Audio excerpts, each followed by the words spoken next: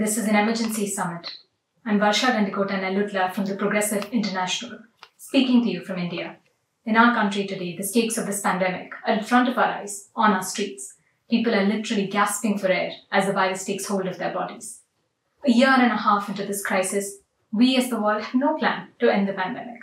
In this moment, every laboratory, every factory, every scientist, and every healthcare worker must be empowered to produce and deliver more vaccines for everyone, everywhere. Instead, high and middle income countries have used up more than 85% of the vaccine supply of the world. Many have done nothing to waive patent monopolies on vaccines. None of them have done anything to force a transfer of vaccine technology to the world. Their actions are condemning millions to their deaths. As we speak, the virus is mutating. New variants of concern continue to accelerate the virus's assault. The Alpha variant in the UK, the Beta in South Africa, Gamma in Brazil, and now Delta in India. Every minute that global cooperation is delayed is another neighborhood of lives at risk. We cannot seriously expect a few rich country governments to challenge a global health system that they constructed, nor can we wait around for fresh promises of charity. Our very survival is at stake. Our lives and liberty are in danger, and the sovereignty of the South is called into question. That is why we're convening this emergency summit for vaccine internationalism. Today and over the weekend, political leaders, government ministers, vaccine manufacturers, and healthcare worker unions, we will hear from all of them on how to end the pandemic. These progressive forces are coming together to set the stage for a new kind of politics, where solidarity is more than a slogan. The goal of the summit is simple to share, produce, and distribute COVID 19 vaccines for the world and end the pandemic. I welcome and celebrate the formation of this new fighting alliance today. Together, we shall write a new international health order.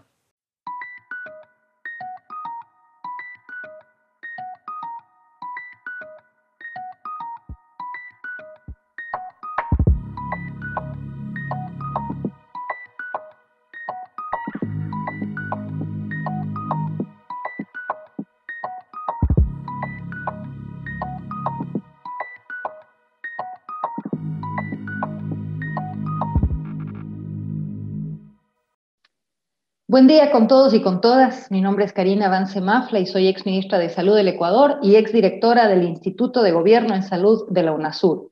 Es un honor poder participar de la cumbre por el internacionalismo de las vacunas organizada por la Internacional Progresista. Saludo a las autoridades presentes y líderes progresistas que hacen parte de esta cumbre, a sus organizadoras, así como a quienes nos escuchan el día de hoy, con gran expectativa sobre las acciones, propuestas y soluciones que sabemos solo pueden nacer de la voluntad política de hacer las cosas bajo los principios de solidaridad y justicia social. La actual pandemia desnudó el nivel al que están dispuestos a llegar los representantes de ciertos países, las élites económicas y las grandes empresas farmacéuticas para proteger sus intereses. Han valorado más las ganancias y la concentración de la riqueza que la vida humana. Esta pandemia de por sí presenta enormes desafíos a los sistemas de salud a nivel mundial por sus características de transmisibilidad y letalidad. Sin embargo, los problemas más grandes que se han generado han sido por fríos cálculos, por decisiones bien pensadas, no solo por errores.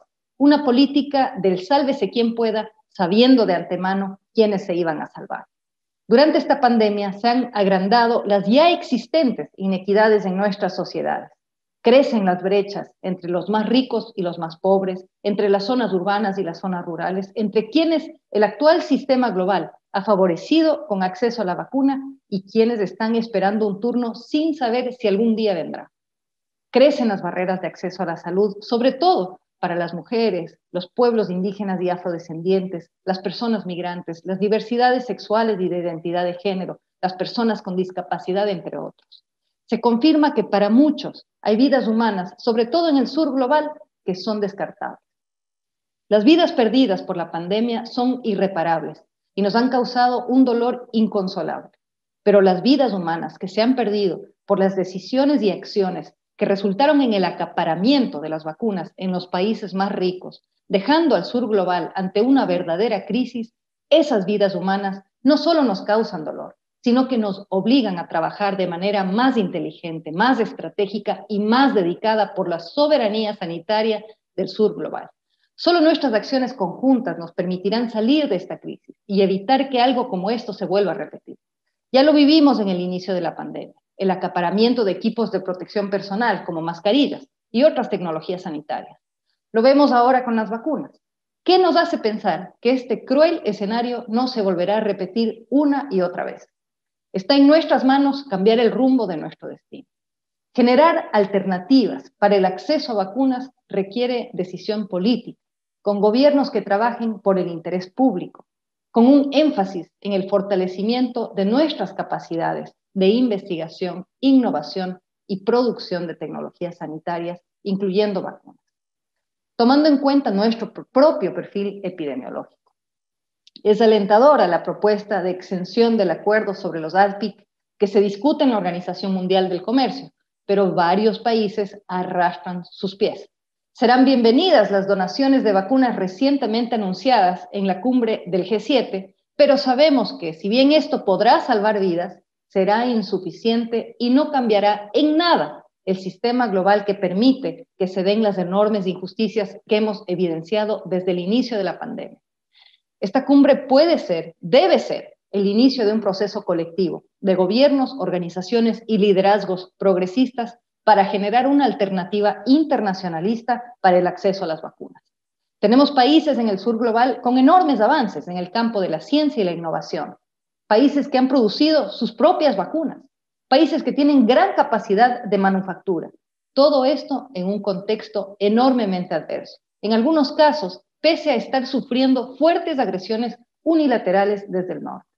Tenemos la oportunidad de generar una plataforma que permita articular los esfuerzos de gobiernos progresistas del sur global para generar soluciones tangibles y urgentes que permitan el goce pleno del derecho a la salud que tenemos todas y todos los habitantes de este planeta.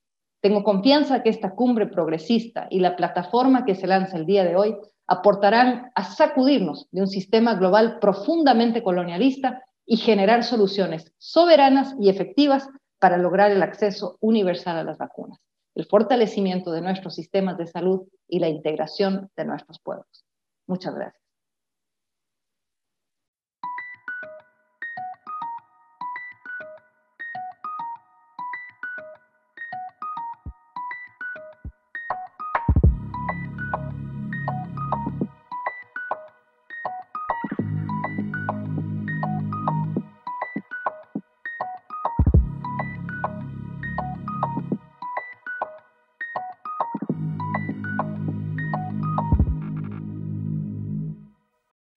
Buenos un gusto saludarlas, saludarlos a todos y todas.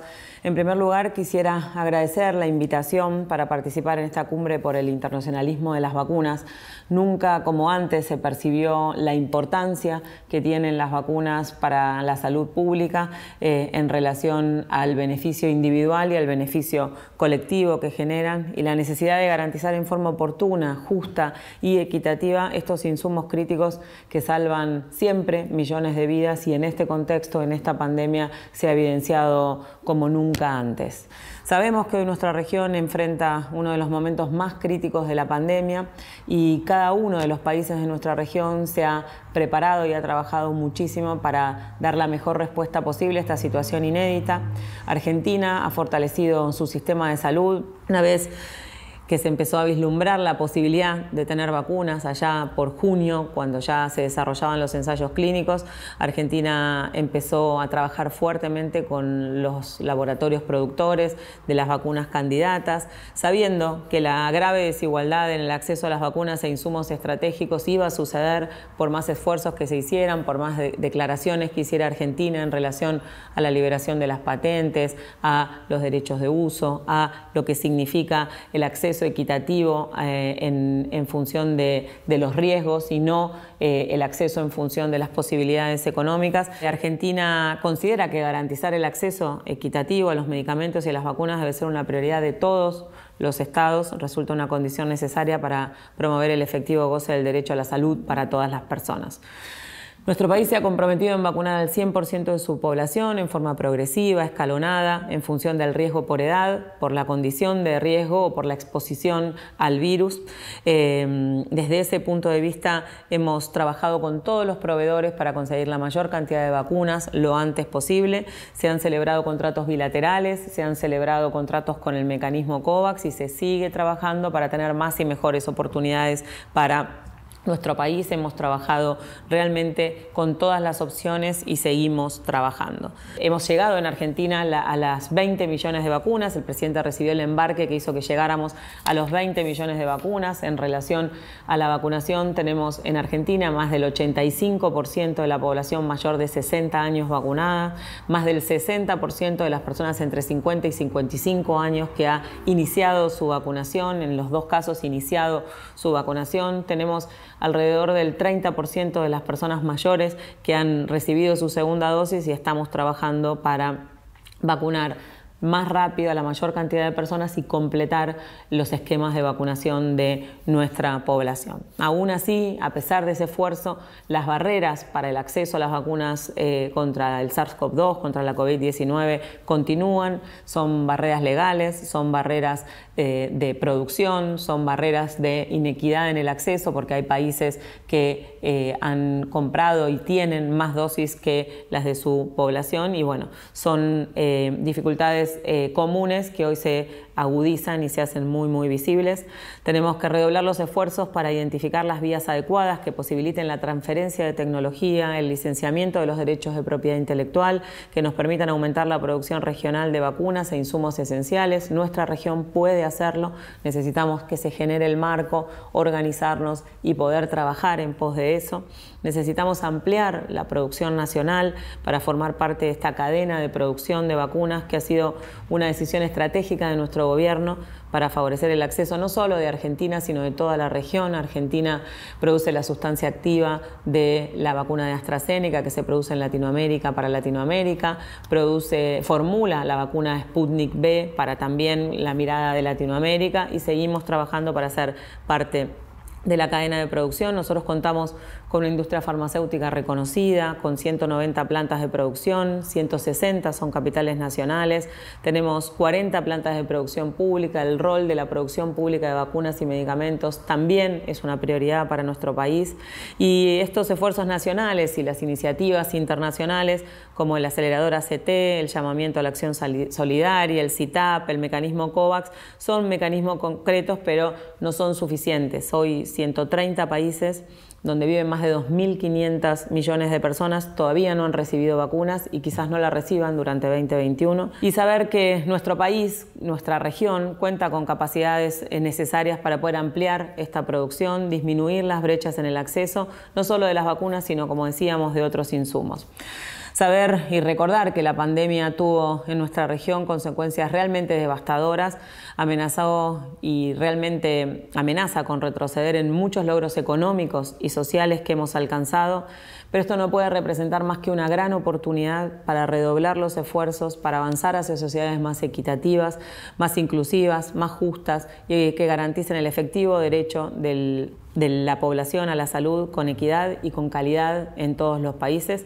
Así que acá estamos con esta oportunidad, con esta responsabilidad de reconstruir esta recuperación que va a permitir fortalecer nuestra integración regional, nuestra producción local y eh, con esta posición que realmente es única para liderar este proceso, en, este, en esta cumbre, en esta reunión, en este nuevo encuentro que estamos cerca desde lejos con este objetivo y con eh, las, los compromisos y el esfuerzo que vamos a realizar para lograrlo. Muchas gracias.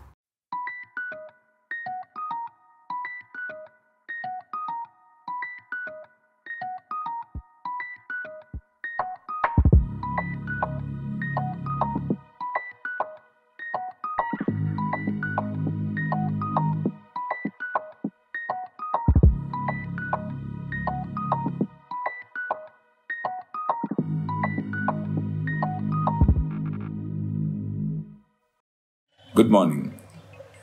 I'd like to speak at this uh, meeting of Progressive International on the issue of manufacturing availability of vaccines against COVID 19 in the third world It's a very serious issue. First, we have seen ever since uh, this pandemic hit us that most of us in the third world have depended essentially and to a large extent on donations of vaccine from the Western countries. We in Kenya, for example, relied very much on COVAX and the World Health Organization to access vaccines, particularly AstraZeneca for the first batch of vaccination that we had in Kenya.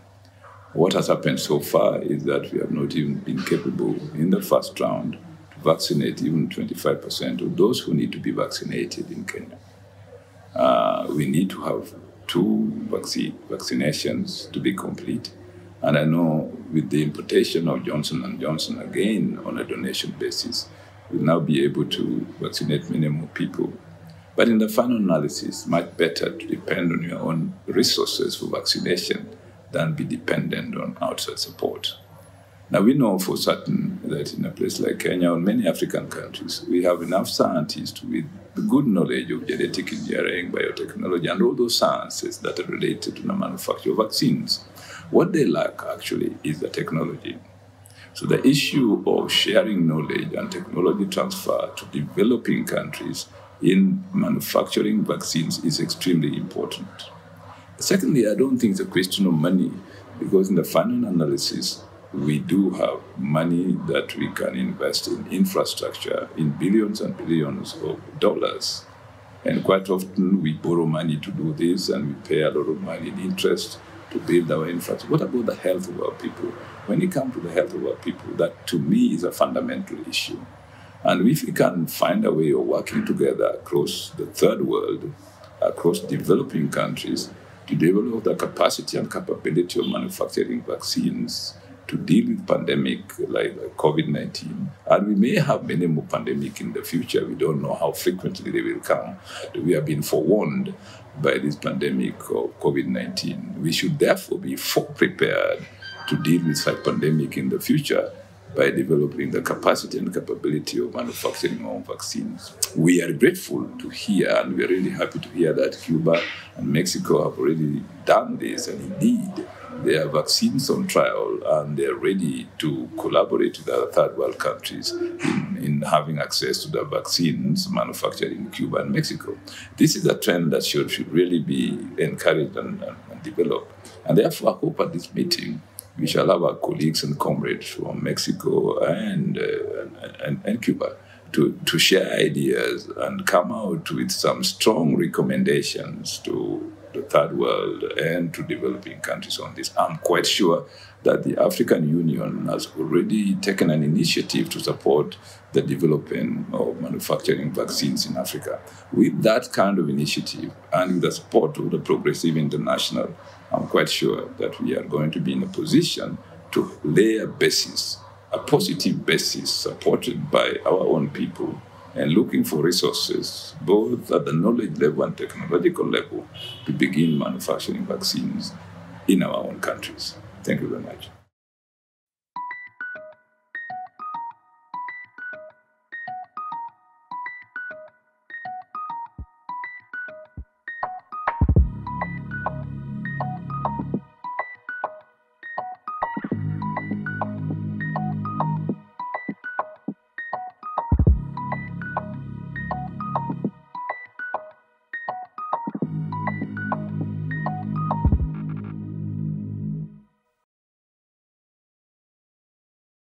Estimadas compañeras y compañeros, la pandemia de la COVID-19 continúa representando un gran desafío para la salud pública y los gobiernos, con graves impactos en lo económico y social, revelando estadísticas mundiales muy críticas.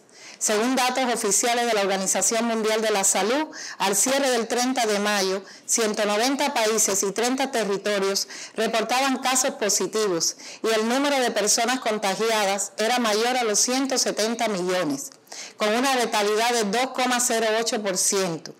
Cuba, con un promedio de mil casos diarios, tiene hoy una letalidad de 0,67% y las personas recuperadas representan el 95%. El abordaje de esta situación epidemiológica en nuestro país tiene como premisa la voluntad política y la gestión permanente del partido y el gobierno, la intersectorialidad con acciones concretas para disminuir los daños de la pandemia, la sostenibilidad y la participación activa de todo nuestro pueblo, organizaciones juveniles, estudiantiles, de masas y sociales, que ha tenido un papel decisivo en la lucha contra la enfermedad. El desempeño de la ciencia con el desarrollo de investigaciones clínicas, la innovación y el trabajo conjunto con la industria biotecnológica y farmacéutica cubana ha sido una fortaleza para el sistema de salud cubano, con el aporte de nuevos productos y conocimientos al combate de este virus. Actualmente, para la COVID-19, se encuentran registradas y puestas en marcha más de mil investigaciones, entre ellas el desarrollo de ensayos clínicos de cinco candidatos vacunales cubanos, dos de los cuales se encuentran en fase 3 de estudio. En este contexto, nuestro país realiza una intervención sanitaria en grupos y territorios de riesgo con dos candidatos vacunales, Soberano 02 y Agdala, que permitirá al cierre del mes de agosto tener vacunada al 70% de la población cubana y a partir del autorizo del uso de emergencia de las vacunas, lograremos tener inmunizada a toda nuestra población y apoyar a otros países que lo soliciten. Estamos en disposición que nuestros científicos y expertos apoyen en todos los esfuerzos para mitigar las consecuencias de la pandemia. Cuba se suma al llamado a eliminar los obstáculos que dificulten el acceso y la distribución de las vacunas, incluyendo cualquier medida coercitiva unilateral que impida, limite o encarezca el acceso a las mismas. Cuba reafirma la necesidad de trabajar para lograr la pronta inmunización universal, así como asegurar una distribución equitativa, solidaria y a precios asequibles.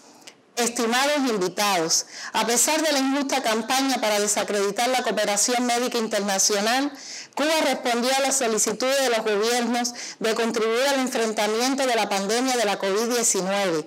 De esta forma, 57 brigadas del contingente internacional de médicos especializados en desastres y graves epidemias, Henry Reed, con más de 4.000 colaboradores, han ofrecido sus servicios en 40 países. Hemos determinado continuar esta cooperación sanitaria internacional por ser afín con la naturaleza humanista del proyecto político, económico y social que defendemos. Cooperar con otros pueblos es un principio de la revolución cubana, inculcado por nuestro líder histórico, el comandante en jefe Fidel Castro Ruz.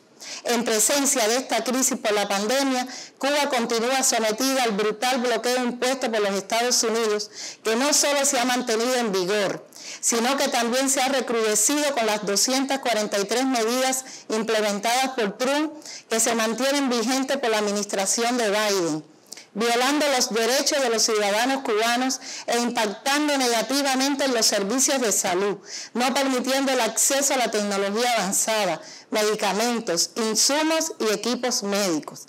Se impone con más razón que nunca que se exija el levantamiento del bloqueo de los Estados Unidos contra Cuba Estamos seguros que el próximo 23 de junio, por vigésima novena ocasión, la comunidad internacional en la Asamblea General de las Naciones Unidas votará a favor de la resolución. Necesidad de poner fin al bloqueo económico, comercial y financiero impuesto por los Estados Unidos de América contra Cuba.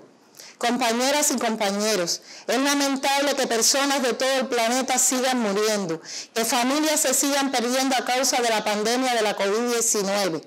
Se trata de unirnos, crear alianzas, intercambios internacionales, aprovechar los conocimientos especializados para encontrar la solución mundial contra esta enfermedad, con acceso a las pruebas diagnósticas, los tratamientos y las vacunas de todo el mundo. Quisiera expresar además que todos los logros alcanzados en esta etapa difícil en Cuba han sido posibles gracias al socialismo, a la revolución cubana y a nuestro noble y heroico pueblo. Muchas gracias.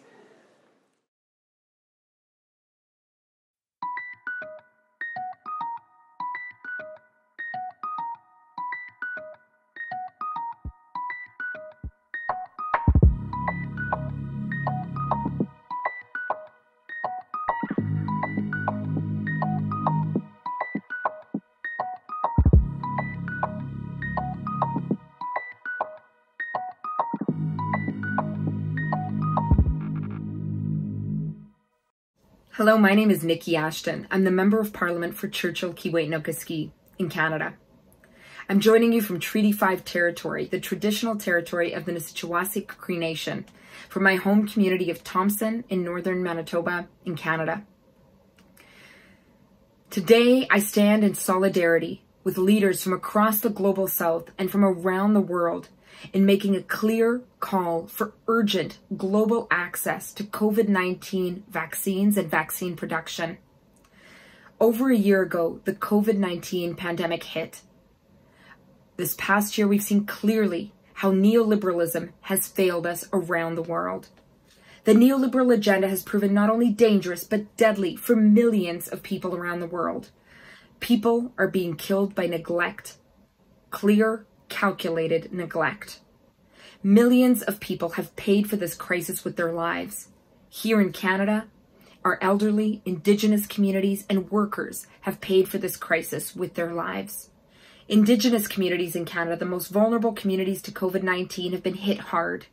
Here in my province, almost, almost 70% of our COVID cases have been among Indigenous people, even though only 30% of the population is Indigenous. Working people, particularly essential workers, many of them racialized, many of them immigrant, have also been disproportionately impacted. From workers in long-term care homes to meat packing plants to warehouses to taxi drivers, they've been forced by employers, corporations, and governments to continue working without the safety and supports they deserved. We must be clear that our governments here as elsewhere, have made conscious decisions to place corporate profits ahead of the well-being of people. And this has been evident in terms of our vaccine production. Our COVID vaccine rollout here in Canada has been marred by delays, cancellations, and interruptions. It didn't have to be this way. We used to have publicly owned capacity. We used to have Connaught Labs. They engaged in groundbreaking work in developing vaccines and other medical treatments over seven decades. They produced vaccines for domestic consumption and for the world. In fact, in the 1960s, the WHO reached out to Connaught Labs for help in producing the smallpox vaccine.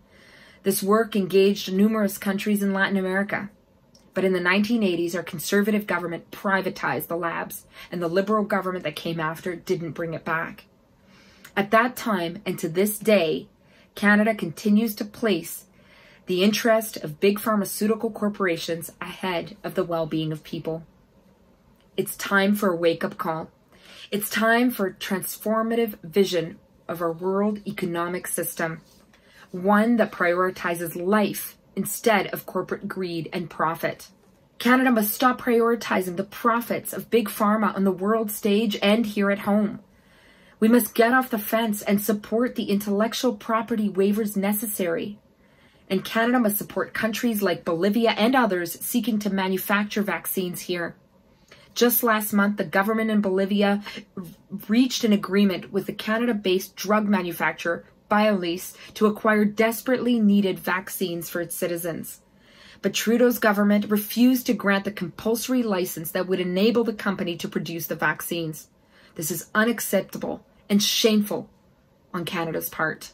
As the People's Vaccine Movement has made clear, the G7 leaders' promises to vaccinate the world are pointless if they continue to fail to support the waiving of intellectual property and sharing of technology which would allow more vaccines, diagnostics, and treatments to be made. The G7 has also been using Cold War rhetoric to attack China and block them and others in their work to produce life-saving vaccines. But change is coming. The Global South is challenging the economic status quo. The summit is bringing together inspiring, leading voices from the Global South, voices representing governments, movements, peoples who are taking bold steps to keep people safe. And this includes calling out the Global North for its obstructionism. From Bolivia to Chile to Argentina, left governments are putting forward a bold alternative vision for our world. From Kerala to Kenya, groundbreaking work is being shared about what is being done to keep people alive. From Cuba to Venezuela, anti-imperialist struggles are being shared with the world against the inhumane blockade and devastating sanctions. movements around the world are rising up and pushing back against corporate greed, right wing authoritarianism, and rising fascism that has rendered us all vulnerable. Here in Canada, many are clear that we can no longer accept the status quo of privatization and austerity. We need publicly owned and publicly driven ways of producing what we need to keep people alive, including vaccines. Many are calling for a bold, transformative vision for our world coming out of this crisis, one rooted in decolonization, in working class solidarity, and climate justice. This summit is a historic opportunity, a flashpoint in the effort to build global solidarity. Through this, we are presenting a shared vision for our world, a vision rooted in humanity and hope. Today, we call out the colonizing and imperialist agendas of governments in the global north that continue to exploit and oppress. Today, we call out corporations and profiteers who are exploiting people for profit. Today, we call on people from around the world to join us, to join movements calling for transformative change, for vaccine justice, for racial, social, environmental, and economic justice. Today, we make it clear that another world is possible and on its way. Let's keep going. Our world and our future depend on it. Thank you.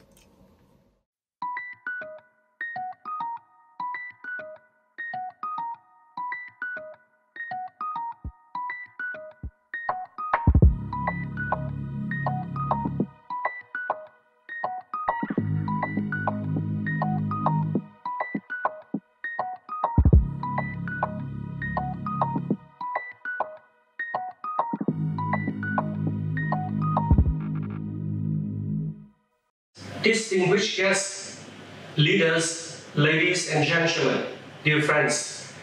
I would like to express my sincere thanks to the Progressive International for your kind invitation.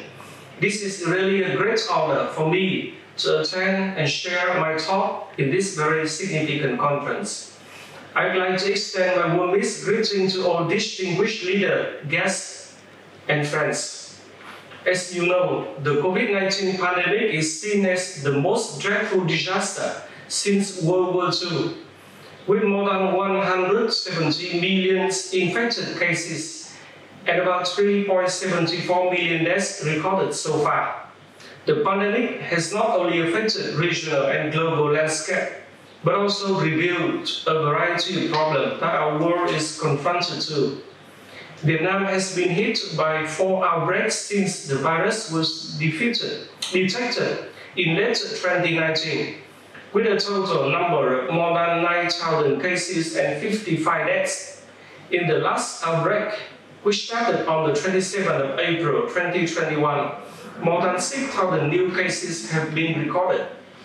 Since the very early days of the pandemic, Vietnam has spared no effort to combat it a variety of solutions have been implemented thanks to the strong determination of the government, timely and effective response of all other stakeholders, international support, and most important, the wholehearted support of the people, Vietnam has managed to limit the number of infected cases. It is nearly two years since the pandemic broke out in 2019, and vaccination has dominated the headline this day. The rollout of COVID-19 vaccine is becoming critical to protecting people's life and stimulating economic recovery. But people are speaking about vaccine inequality throughout the world. While developed countries are now moving ahead in the fight against the pandemic with high vaccination rates, developing countries are facing difficulty for Vietnam, vaccination commenced on March 2021 with a total of more than 1.34 million people vaccinated, about 1.3% of the population. So far, the Ministry of Health has approved AstraZeneca, Sputnik V, and Sinopharm for use in emergency. The country is also working on producing its own vaccine by the end of the third quarter this year. It has also launched a COVID-19 vaccine fund worth 40 million USD. with contribution from businesses, NGO, and individual. However, Vietnam's vaccination is now facing challenges to increase from very small rates at present to 70 to 75 percent in a short time. Ladies and gentlemen, friends, I really appreciate Progressive International's initiative to organize a workshop on vaccine internationalism. Vietnam, in its past struggle for national independence and the current cost for national construction, has benefited from internationalism. Internationalism, according to our respected leaders Ho Chi Minh, was two-directional. It sought to mobilize international support and to contribute to the struggle for peace, independence, democracy, and social progress over the world. In this context, Progressive International should play the role of a main progressive force to uphold the spirit of internationalism, international solidarity, and cooperation.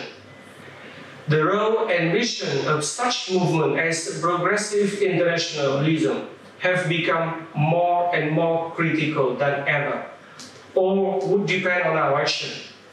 I am confident that with the spirit of internationalism, together we will defeat the COVID-19 pandemic and advance toward achieving a world of peace, development, equality, and progress. Thank you very much.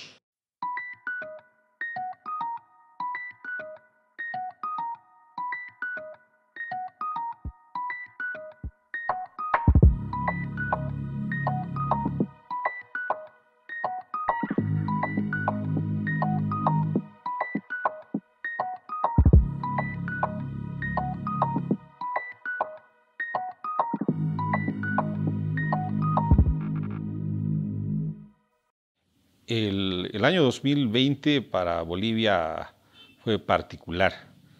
El 2019, en noviembre, se interrumpió el orden constitucional con un golpe de Estado y el gobierno del golpe eh, no se preocupó demasiado por la, por la pandemia, más bien la utilizó para tratar de consolidarse y perpetuarse en el poder. Eh, logramos recuperar la democracia para noviembre, eh, se instaló un nuevo gobierno a la cabeza del presidente Luis Arce y desde entonces empezamos a luchar contra la pandemia, pero llegamos tarde a esta, lucha por vacunas, por medicamentos. Eh, en ese entonces Bolivia no tenía la provisión eh, ni de medicamentos y no estaba en ninguna de las listas para contar con vacunas y con mucho esfuerzo y gracias a, buenas relaciones bilaterales con algunos países amigos, eh, logramos provisiones de medicamentos y para fines de diciembre del 2020 eh, suscribimos un primer contrato para contar con más de 5 millones de dosis de las vacunas Sputnik B. Fuimos avanzando para febrero, contratamos uh, otra cantidad similar eh, para contar con vacunas AstraZeneca. Y eh, paralelamente habíamos estado trabajando con el mecanismo COVAX y también teníamos el compromiso de contar con varios millones de vacunas por ese mecanismo. Para fines de febrero, de alguna forma, respirábamos con cierta tranquilidad pero esa tranquilidad nos duró poco, porque eh, lo que de alguna manera era previsible empezó a ocurrir, una escasez mundial de vacunas. Eh, algunos países habían acaparado las vacunas, eh, estábamos viendo cómo inclusive en lugares como la Unión Europea escaseaban. Y esos contratos, esos acuerdos que teníamos firmados, eh, empezaron a cumplirse. ¿no? Eh, nuestra provisión de Sputnik B se demoró, era una demanda de su propio país que primero se ocupe de, su población. En el caso de las AstraZeneca, de las vacunas de AstraZeneca, eh, la India tuvo una crisis por la pandemia y cerraron la posibilidad de exportación. Eh, el mecanismo COVAX había apostado mucho para, para proveer de vacunas a Latinoamérica con mm, las farmacéuticas, con las empresas indias, entre ellas el Instituto Serum que estaba produciendo AstraZeneca. Nos llegaron 228 mil iniciales y luego la incertidumbre total. De, tener de alguna manera asegurado contractualmente con documentos provisión de vacunas, eh, llegamos a un punto en el que eh, la situación era incierta. Como, como país, eh, desplegamos tres líneas de acción estratégica. Por un lado, insistimos con nuestros proveedores para que pudieran cumplir los compromisos que habían asumido y hemos estado teniendo algún éxito. Seguimos recibiendo provisiones de la Sputnik B, no en las cantidades que se tenían comprometidas, en los tiempos que se tenían comprometidos. En el caso del Instituto Serum ya nos llega más AstraZeneca. Eh, en el caso de, COVAX nos han estado llegando algunas vacunas más de, de, Pfizer, esa es una línea estratégica que seguimos. Una segunda línea fue la de ver nuevos proveedores por diferentes medios, ya sea o mecanismos de relación bilateral o de contratos comerciales. Y en ese ámbito logramos eh, importantes avances, y logramos provisión de vacunas de la, de, la empresa uh, Sinopharm de China, que nos han estado ayudando significativamente. Eh, y eh, empezamos a buscar en el mercado otras posibilidades de también contar con, vacunas. Uh, pero es evidente, eh, todavía en el mundo existe una carencia de las vacunas necesarias. Finalmente, tenemos una tercera línea de acción estratégica que eh, nosotros consideramos es estructural, porque en el proceso de reflexión que, que, nos ha llevado la búsqueda, a, a, la que nos ha llevado la búsqueda de, las vacunas, eh, advertimos que en el mundo no existe por el momento la suficiente capacidad productiva como para abastecer a todos los que necesitan vacunas en el tiempo prudente. Según dicen los expertos, necesitamos inmunizar por lo menos al 70% de la población mundial para salir de la pandemia. Y eso se hace difícil cuando solo se producen por determinadas empresas, eh, porque tienen las patentes. Y hay otras empresas que públicas, privadas, que pueden producirlas, pero que no pueden hacerlas porque no tienen las licencias. Entonces, en nuestra tercera línea de acción estratégica como Bolivia, nosotros hemos propuesto y estamos defendiendo en todos los escenarios que se deben liberar las patentes de las vacunas y realizar la transferencia de, de la tecnología que sea necesaria para que se pueda multiplicar la capacidad productiva de las vacunas. En esa misma línea, también hemos activado el mecanismo para lograr una licencia obligatoria en el marco de las reglas del juego que establece la OMC. En nuestra primera línea estratégica no, trabajamos junto a Sudáfrica, junto a la India ya para fines del año 2020 inclusive, y en este 2020 hemos estado llevando nuestra voz a todos los foros que nos ha sido posible.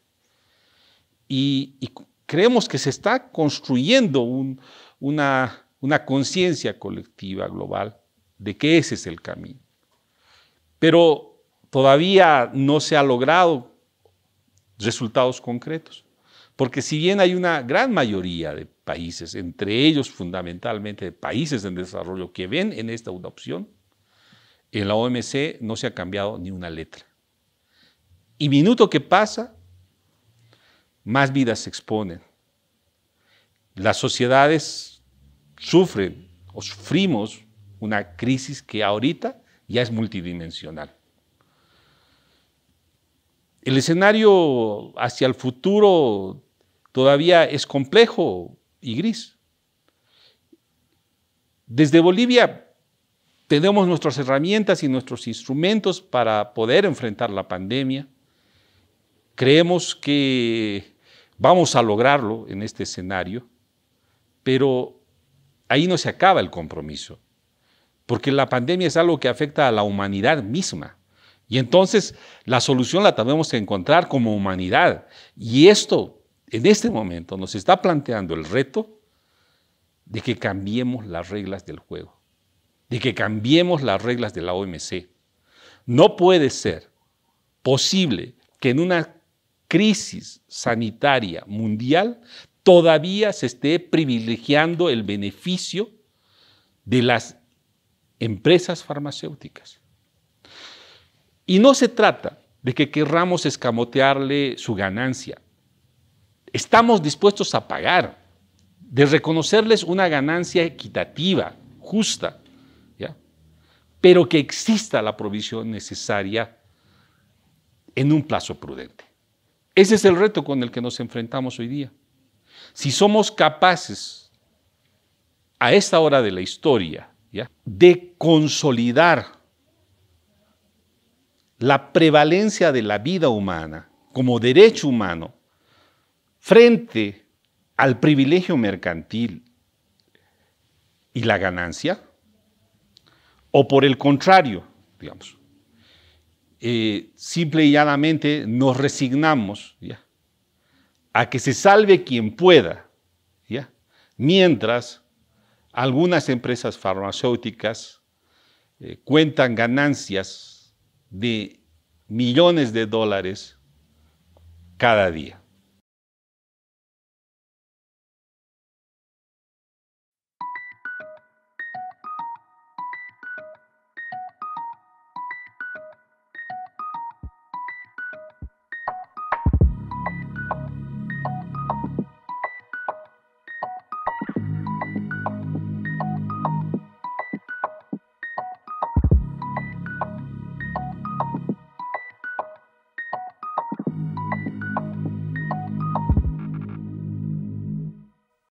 Brothers and sisters, it has been a year and a half since mankind's battle with the novel coronavirus began.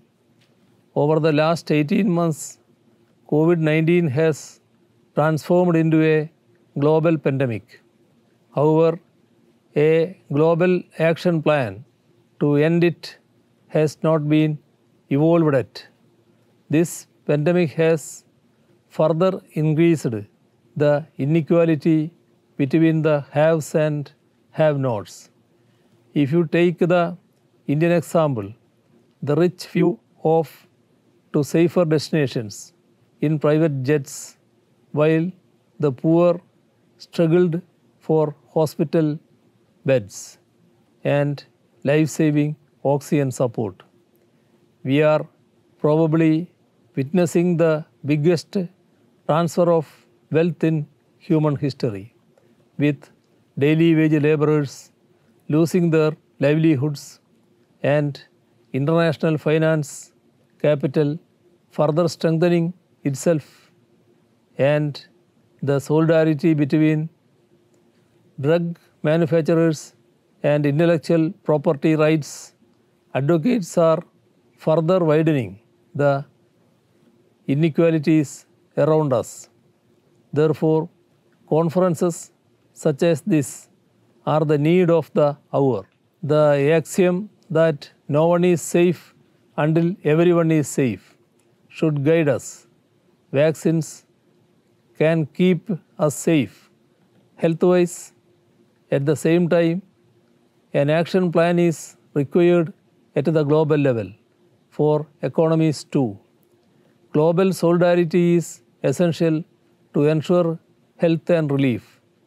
Accountability is also imperative to ensure equality. That is where forums like Progressive International can play a lead role. Essentially, the COVID pandemic manifests as a tug of war between lives and livelihoods. Both ends have to be catered to so that neither end false. Stability is imperative in this battle. Let me share some of our experience in Kerala, a small coastal state in the southern tip of India. As far as governments go, they have the responsibility of protecting both the lives and livelihoods of the people. It is in fact that fundamental duty in a democracy. The Left Democratic Front government in Kerala was sure of its responsibility right from day one, which is why we were the first in the country to declare a lockdown so that people's lives can be protected as well as to announce a COVID relief special economic package to the tune of US dollars 2.72 billion so that their livelihoods could be saved. Over the last four years before COVID struck, the LDF government had strengthened Kerala's robust public health system. Through the Ardram mission, we had ensured super speciality services even in district and taluk hospitals. Primary health centers had been upgraded into family health centers. Through the Kerala Infrastructure Investment Fund Board, we have provided an infusion of US dollars 218 million to prove the healthcare infrastructure in the state. More than 5,200 additional posts were created in our public health system. An Institute of Advanced Virology and a Medical Technology Consortium were set up. Through the Life Sciences Park, studies in biotechnology and medical research were strengthened. Public sector enterprises like Kerala State Drugs and Pharmaceuticals were improved to produce and export medicines. By supplementing the inherent strength of our public health system, we were able to prepare it to combat viruses like Nipah and novel corona. We took up special measures to care for the daily wage laborers and the marginalized and disadvantaged communities. Realizing that all sections of the society would face difficulties, the government provided kits containing essential articles to all with the motto none shall starve. Unlike many other parts, Kerala retained and strengthened its public distribution system, and it was of immense help in the pandemic situation. Meals were provided through the community kitchens and people's hotels. We took care of our guest workers. It is a matter of great pride for us. We took up social welfare measures lest the economy should come to a grinding halt. Thus, Kerala was able to contain the downslide of the economy at minus 3.82% when it was minus 7.3% at the all India level in 2020-21. The economic interventions ensured that our circumstances would be conducive for proceeding steadily in the fight against the disease. It also strengthened our preventive measures by encouraging the people to adhere to lockdown protocols as their material needs were met even while they stayed put at home. This was a novel intervention by Kerala. At the same time, to strengthen our COVID core, we created temporary posts through the National Health Mission. COVID first line treatment centers were set up at local government levels. We enrolled the help of volunteers and voluntary organizations, staying true to our commitment to decentralization and strengthening of local bodies. Ward level committees were formed to help in monitoring and managing the pandemic. Public sector enterprises were directed to produce masks, sanitizers, and life saving drugs. The experiences of doctors and scientists were tapped to find solutions arising out of the health emergency. Even before the lockdown was announced, video conferences were held with traders to ensure adequate stock and to manage the supply chain. All these helped us in tackling the COVID 19 pandemic in its first wave. As far as vaccines are concerned, we have an unfortunate situation arising wherein producers are dictating prices despite getting governmental assistance in the development and manufacturing of vaccines. The fact that in some cases various state governments have to pit themselves against one another to order to get adequate supply and at reasonable rates is also a matter of grave concern. Vaccines going to the highest bidder means that universal and free availability remains simply a dream. And without free and universal vaccination, herd immunity against the pandemic will elude us. At a time when vaccine manufacturing companies are trying to seek financial gains by exploiting the scarcity in supply, federal governments should step in. Necessary steps should be taken to ensure that intellectual property rights and patent laws and conventions do not stand in the way of manufacturing COVID 19 vaccine, which should have the status of a public good from which no one shall be excluded. Options like compulsory licensing should be explored, and public sector pharmaceutical companies which are capable of producing vaccines should be immediately mobilized into action. Despite the limitations that state governments have in India's federal policy, Kerala took the lead in announcing free and universal vaccination in India. Accordingly, we earmarked US dollars 136 million for providing vaccine to all above 18 years of age and US dollars 136 million for purchasing allied equipments. We have promised to ensure first dose of vaccine to all those above the age of 40 by 15th July and included those with mental disabilities in the priority group. Additionally, to support vaccine production in Kerala on a long term basis, a vaccine research unit is being commenced at the Institute of Advanced Virology. In the beginning, I had said that it is the fundamental duty of governments in a democracy to safeguard the lives and livelihoods of the, its people. However, in our present global scenario, it seems that only those who think in terms of alternatives are committed to even ensuring those basic rights of the people.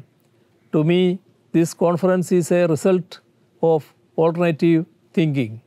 For the sake of humanity, we have to take up the moral responsibility on us to see that health services and vaccines are made available to all across the globe, building adequate health facilities, restoring supply chains, ensuring cold storage, and above all, making knowledge free and accessible are essential if we are to ensure that everyone is safe. To that end, I wish this conference the very best and conclude by extending solidarity in the call to end this pandemic. Greetings to you all.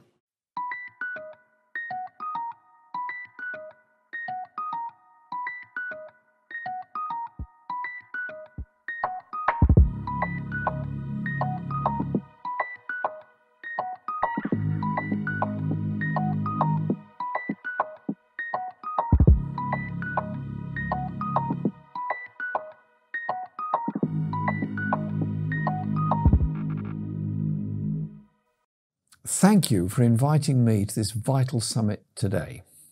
And thank you to the Progressive International for all the work you do to organise, mobilise, and unite progressive forces all around the world.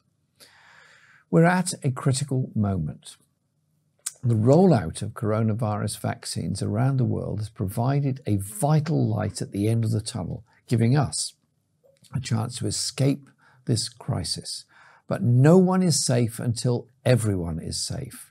In the UK, where I am, many of us have now had two doses of vaccines already.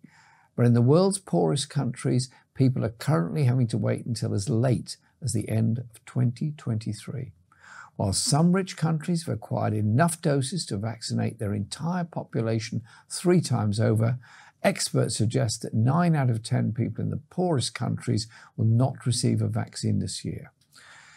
There are some of the countries least equipped to handle a major health crisis, often due to the legacy of colonialism, the exploitation of people's labour through global markets, IMF enforced austerity programmes, and other forms of deliberately entrenched inequality. It's also about our own safety. The longer this situation continues, the greater the risk of vaccine resistant variants emerging and dragging the entire world backwards.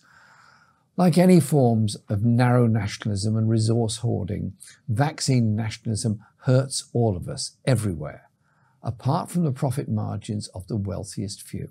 Nine big pharma executives and owners have become billionaires through the pandemic, while the rest of us suffer. Not only are richer countries hoarding vaccines, they're preventing poorer countries from producing their own. The US now supports a waiver, albeit limited, of intellectual property law to allow all countries to produce vaccines. But the UK, the European Union, and other global north countries continue to block it, putting big pharma mega profits before global public health and economic well-being. This is why events like today are so important. The global elite will not fix this problem for us. We cannot wait for good sense to prevail in the boardrooms and government offices of the most powerful. We have to provide solutions ourselves. That's why I'm so inspired to be with you today, to see the governments from the global south come together to find collective solutions to end the pandemic. Socialists and progressives in the UK stand with you. We salute your efforts and pledge to grow solidarity across borders, put pressure on our governments to change course, and challenge a rigged trade system that routinely prevents vital medicines getting to those who need them most. This pandemic has compounded an already existing global crisis of inequality. It's been worsened by the nationalism and short sightedness, by decisions to cut and privatize health services, by political choices to tolerate horrific social and health inequalities within and between nations, and by putting the needs of the profiteers before our right to health and life. The first and most important lesson we have to take from this crisis in an age of climate chaos, a new wave of global power struggles, and wealth concentrating even further at the top is the urgency of our task, coming together to build a world that works for the many, not the few. Seeing this summit come together today and being here with you makes me more certain that we can and we will succeed. Thank you so much for being here today.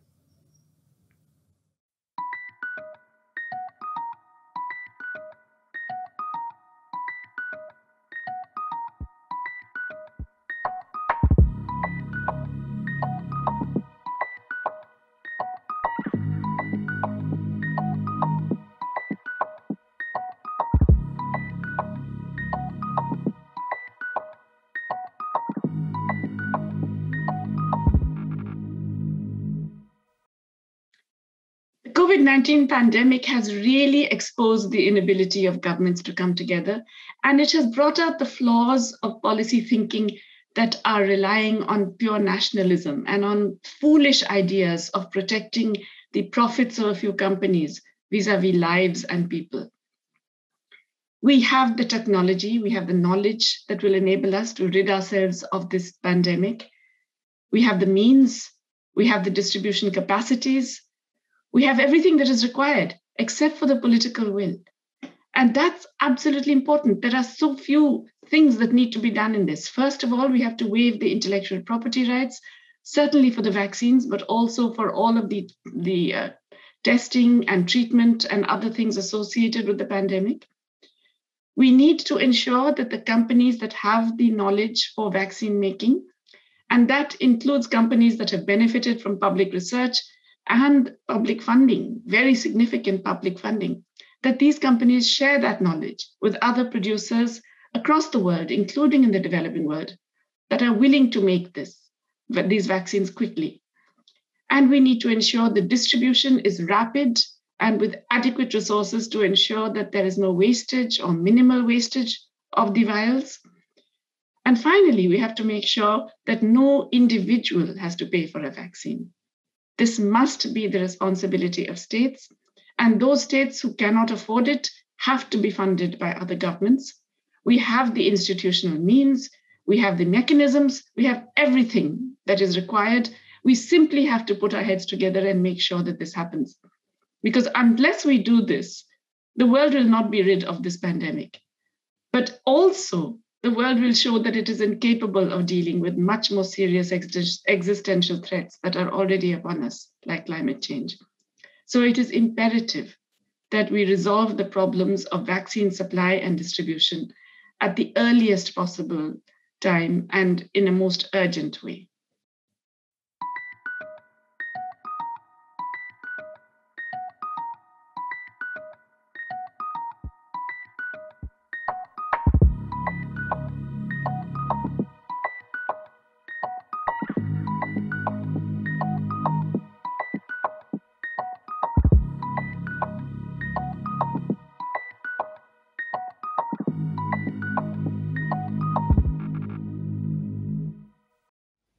The COVID 19 pandemic placed Palestinians in Palestine with the formidable challenge of dealing with a deadly virus under settler colonial occupation.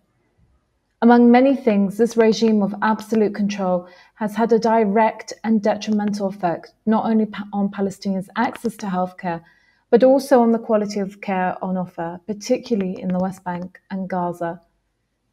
Israel's military occupation has left the Palestinian healthcare system undersupplied and with insufficient medical facilities. For decades, rather than being allowed to develop self sufficiency, Palestinians living in these occupied territories have been forced to rely on outside help to meet their even most basic healthcare needs. When COVID 19 hit, the Palestinian authorities were in no shape to implement effective pandemic mitigation strategies or procure the necessary medications and enough vaccines to protect Palestinians. Indeed, the Palestinian authorities have struggled to procure the vaccine. And whilst the vaccine rollout is happening in Palestine, it's happening slowly. Meanwhile, the Israeli regime has vaccinated the majority of its citizens and was even hailed the global champion of the vaccination rollout. Yet this narrative distracted from the fact that the Israeli regime was and is still deliberately avoiding its responsibility to provide the vaccine for Palestinians in the West Bank and Gaza. Article 56 of the Fourth Geneva Convention specifically provides that an occupier has the duty of ensuring the adoption and application of the prophylactic and preventative measures necessary to combat the spread of contagious diseases and epidemics. In other words, the Israeli regime has a legal obligation to procure a sufficient amount of COVID 19 vaccines for Palestinians living under its military occupation. But it hasn't. Rather, it's consistently failed to meet its legal and moral obligations. This treatment of Palestinians exemplifies the relationship between the settler and the indigenous population, whereby the former's life is prioritized over the latter the systematization of this prioritization over many decades has rendered Palestinians vulnerable and more susceptible to the virus. And even now, as some Palestinians are getting vaccinated, we are seeing systematic global discrimination where Palestinians are forbidden from entering countries, even if they are vaccinated, because Palestine is not on a green list. This is, of course, not only the case for Palestinians, but for whole groups of peoples around the world, which really highlights the fact that this pandemic, despite what the celebrities were saying early on, is not serving as a great equalizer. Rather, it's shining a spotlight on structures of power and oppression that privilege the health of some over others. Palestinians, like other oppressed, colonized, and vulnerable communities in the world, should not have their right to the vaccine forsaken because of a politics which favors some lives over others. Access to the vaccine and treatment for the virus should be available to all.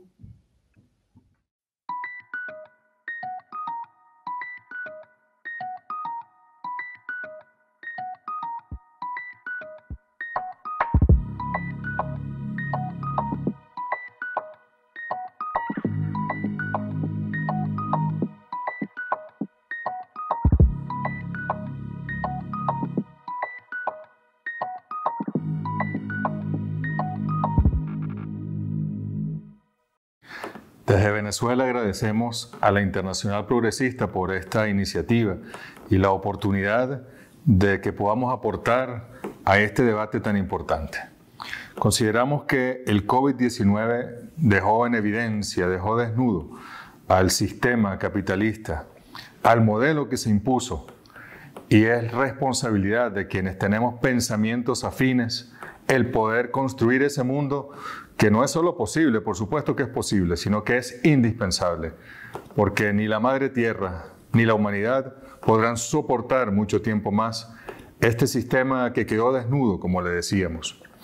Es de gran importancia el cómo la crueldad y la desigualdad del sistema quedan a la luz, cómo aquellos países, aquellas sociedades que sufrieron fenómenos de disminución a su mínima expresión del Estado-Nación, quedaron también vulneradas y vulnerables ante el COVID-19.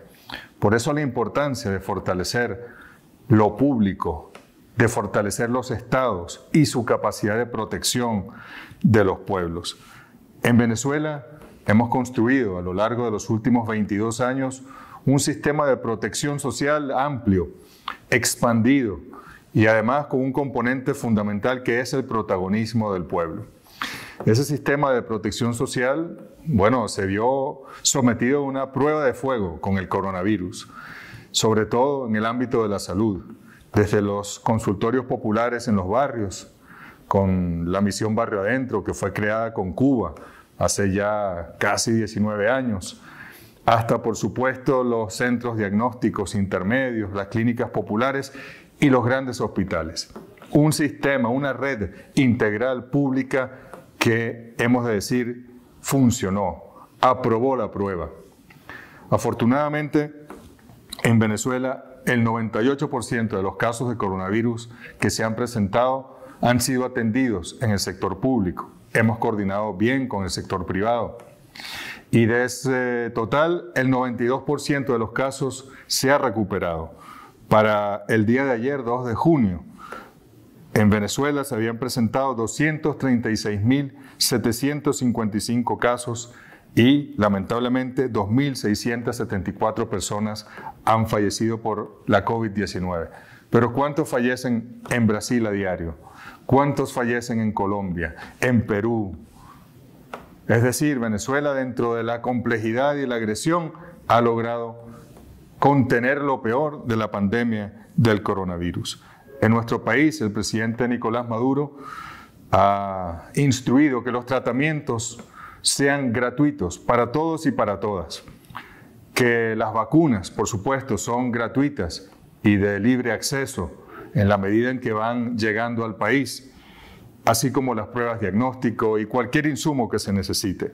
Tenemos un método de 7x7, cuarentenas, confinamientos de 7 días, una semana y flexibilización la semana siguiente, que se va evaluando. En ocasiones se decretan dos semanas de cuarentena y poco a poco hemos ido logrando controlar la pandemia, cosa que no ha ocurrido en otros países de nuestra América del Sur.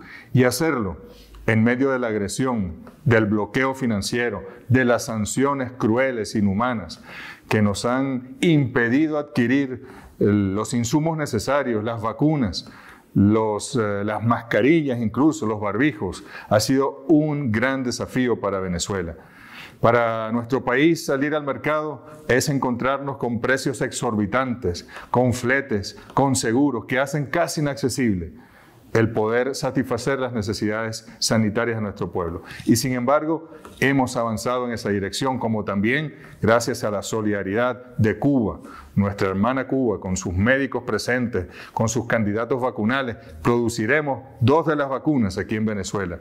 China, siempre un puente aéreo permanente, Rusia, Turquía, la propia Naciones Unidas a través de la Organización Panamericana de la Salud y de la Organización Mundial de la Salud en una escala menor, pero también han aportado. Gracias a esa solidaridad multipolar hemos logrado que Venezuela pueda salir adelante con un control que podemos nosotros exponer ante el mundo. Pero pensemos qué hubiese ocurrido si no hubiésemos tenido los 5 mil, casi 6 mil millones de dólares bloqueados en la banca internacional por la agresión imperialista.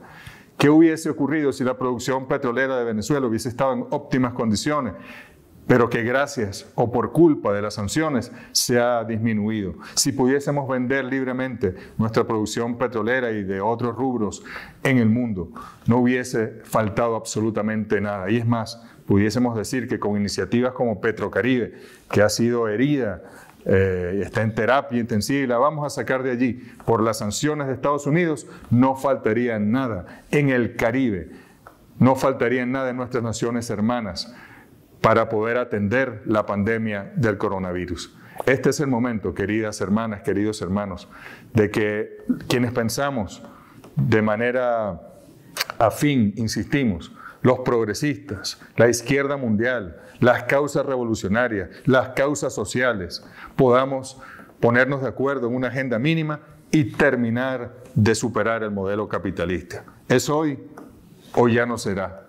¿Es hoy o no lo habremos logrado? Y estamos seguros que tenemos la voluntad y que tenemos la razón y que podremos salir adelante con nuestros pueblos y construir un mundo mejor para siempre. Muchas gracias.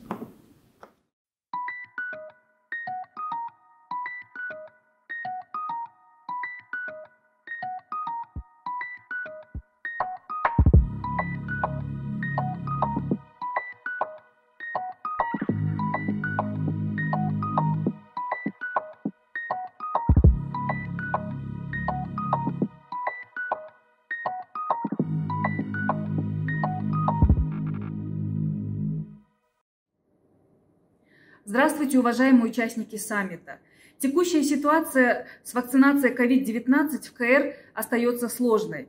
На сегодня количество вакцинированных составляет 88 тысяч человек. Из них полностью вакцинировано 44 тысяч человек. Это ничтожно мало для э, нашей страны. Кыргызстан полностью зависит в вопросах биобезопасности, так как у нас слабый потенциал в вопросах оценки потребностей и прогнозирования эпид-ситуации, производства тестов и вакцин. Поэтому ситуация с ростом заболеваемости COVID-19 в Кыргызстане ухудшается. В стране используется вакцина китайского производства Sinopharm, зарегистрированная Всемирной организацией здравоохранения. Данная вакцина поставляется в страну в рамках грантовой помощи. Также начато вакцинирование российской вакциной «Спутник-5», предоставленной в рамках гуманитарной помощи и закупаемой правительством страны из средств республиканского бюджета. Другим источником вакцин, мы надеемся, станет COVAX. Тогда в страну поступят еще вакцины, зарегистрированные ВОЗ. Страна заинтересована и выражает приверженность в развитии производства вакцин и тестов, понимая, что необходима консолидация усилий всех заинтересованных сторон. Одной из возможностей для развития производства может стать механизм государственно-частного производства вакцин и тестов. Другой возможностью является имеющийся кадровый потенциал общественного здравоохранения и научного сообщества, представителей вузовской медицинской науки, заинтересованные в развитии производства вакцин и тестов. Данный механизм даст возможность привлечь бизнес и инвестиции в данное производство – Я желаю эффективной работы саммиту и успехов всем.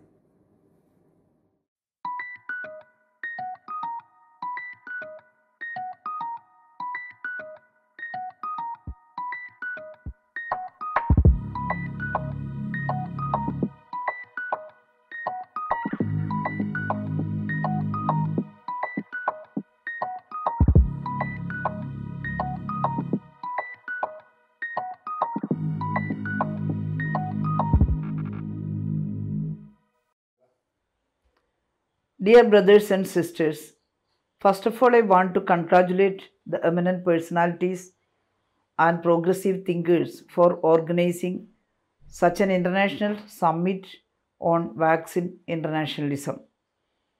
We are all fighting with COVID-19 pandemic and the pandemic taught us several lessons. There's a saying that the pandemic is a litmus test to the system governance throughout the world. Wherever the government invested more money into the public health system, there the fight against the pandemic is comparatively easy. And wherever they are not investing in public sector, it is too difficult. And the fight against the pandemic, the first facet is to get proper immunity. We want to get herd immunity throughout the world. Then only we can save human race from the cruel virus. To get herd immunity, the only method or the effective method is vaccination. And how to produce the vaccine and distribute the vaccine, that is the great question. Now, throughout the world, we can examine, especially in capitalist world, the vaccine also is becoming a profiteering business. That should not be allowed. We should have vaccine internationalism and we should ask to waive all the barriers, all the laws which prevent the easy movement of vaccine throughout the world. Our country, India, declared free vaccine to all Indian citizens. My state, Kerala, also declared free vaccination. But the intellectual property rights on vaccine production and the pharmaceutical companies definitely utilize it for profiteering and that should be controlled. India government uh, raised the propaganda to waive the intellectual property rights on vaccine. And along with South Africa also sent some letters to the World Trade Organization to waive the TRIPS laws.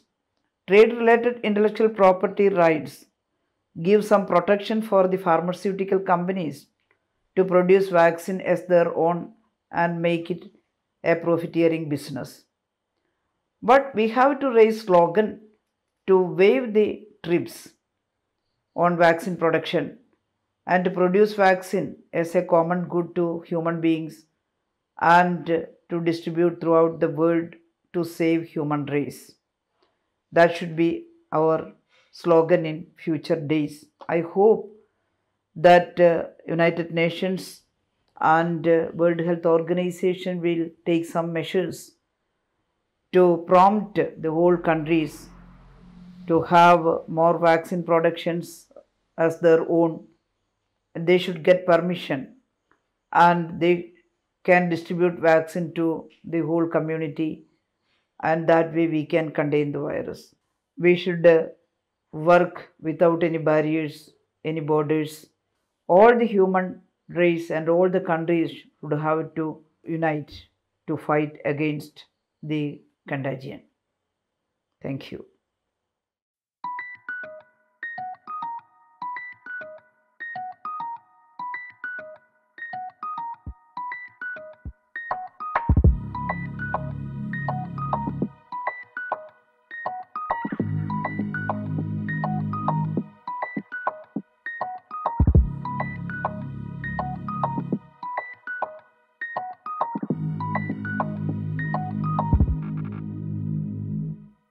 Pakistan began its uh, inclusion drive in February. As of June 12, only 1.3% of the country's entire population has been uh, vaccinated. At the snail speed progress becomes far more pronounced when one can see the great strides being made in the developed countries um, in finally overcoming uh, pandemic through mass vaccinations.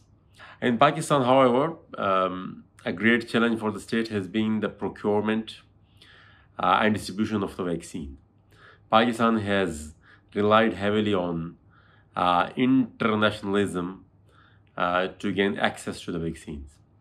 Most um, shots being given to Pakistan, um, the public uh, healthcare centers were through um, donations under COVAX or were purchased from China at a uh, time of severe distress. The rich and the poor within Pakistan have experienced um, uh, this pandemic differently. Um, when infected, the rich are able to gain access to um, um, private and as well as uh, uh, public healthcare facilities um, where mm, they can afford to pay heavy fees and heavy um, um, heavy expenses of the private health care and mm, where they can get beds, where they can get ventilators, while for the other part, the, the poorest, uh, it, it is not the case. Uh, similarly, uh, vaccine rollout in Pakistan has been um, uh, experiencing, experiencing um, uh, the same kind of uh, difficulties like um, uh, for most of the poor um, it, it, it was it wasn't that much easy while for the for the rich people um, they could have you know easily get it through the uh, through private um, healthcare also. Um, Pakistan was one of the first countries in the world to allow private imports of COVID-19 vaccines um, in open market. Authorities expect richer Pakistanis to buy their own vaccination shots, uh, which they have been doing.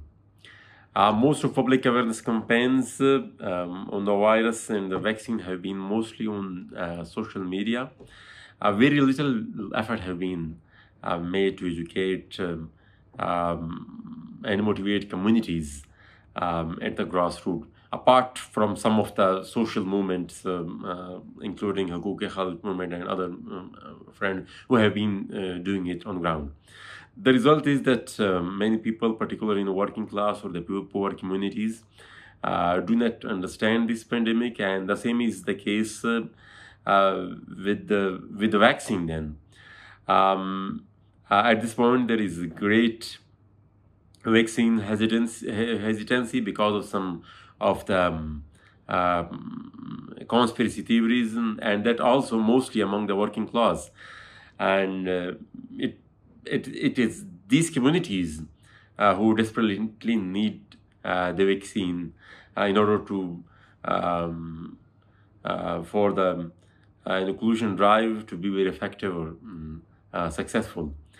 Uh, much more can be done to overcome this pandemic, and in my opinion, uh, it comes down to simple principles. Um, we must honor the right uh, to life of every um, individual, and by extension, uh, the fundamental right to health. a two-pronged strategy of access and affordability must be adopted. Um, testing, treatment and the vaccination drive should be accessible um, and affordable to every uh, member of the society. Uh, thank you very much.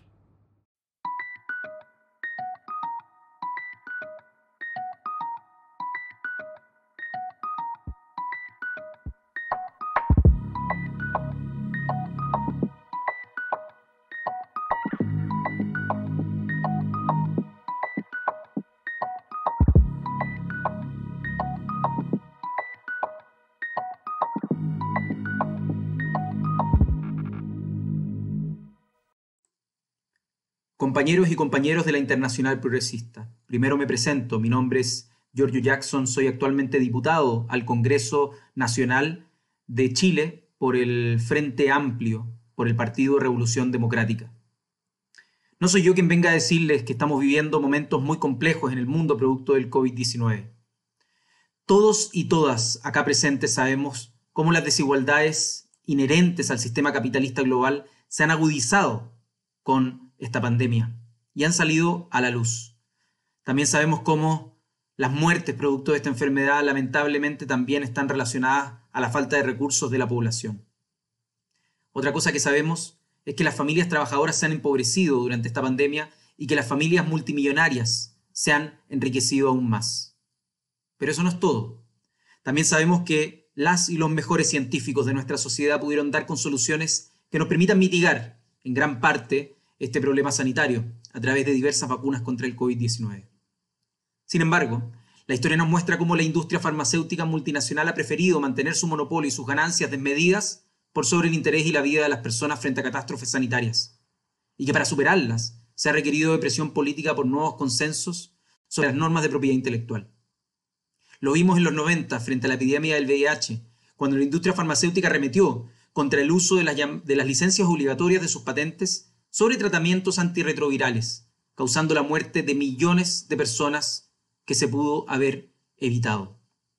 Solo gracias a la presión internacional, liderada por países africanos y otros como Brasil e India, fue posible frenar las acciones de lobby farmacéutico en contra de aquellos países pobres en vías de desarrollo y permitir así el uso de las flexibilidades del ADPIC o TRIPS en inglés. Igualmente, en ese contexto, es que se logró en 2001 un consenso en la declaración de Doha para que quedara claro que los países son libres de determinar la justificación de las licencias obligatorias y normalizar su uso.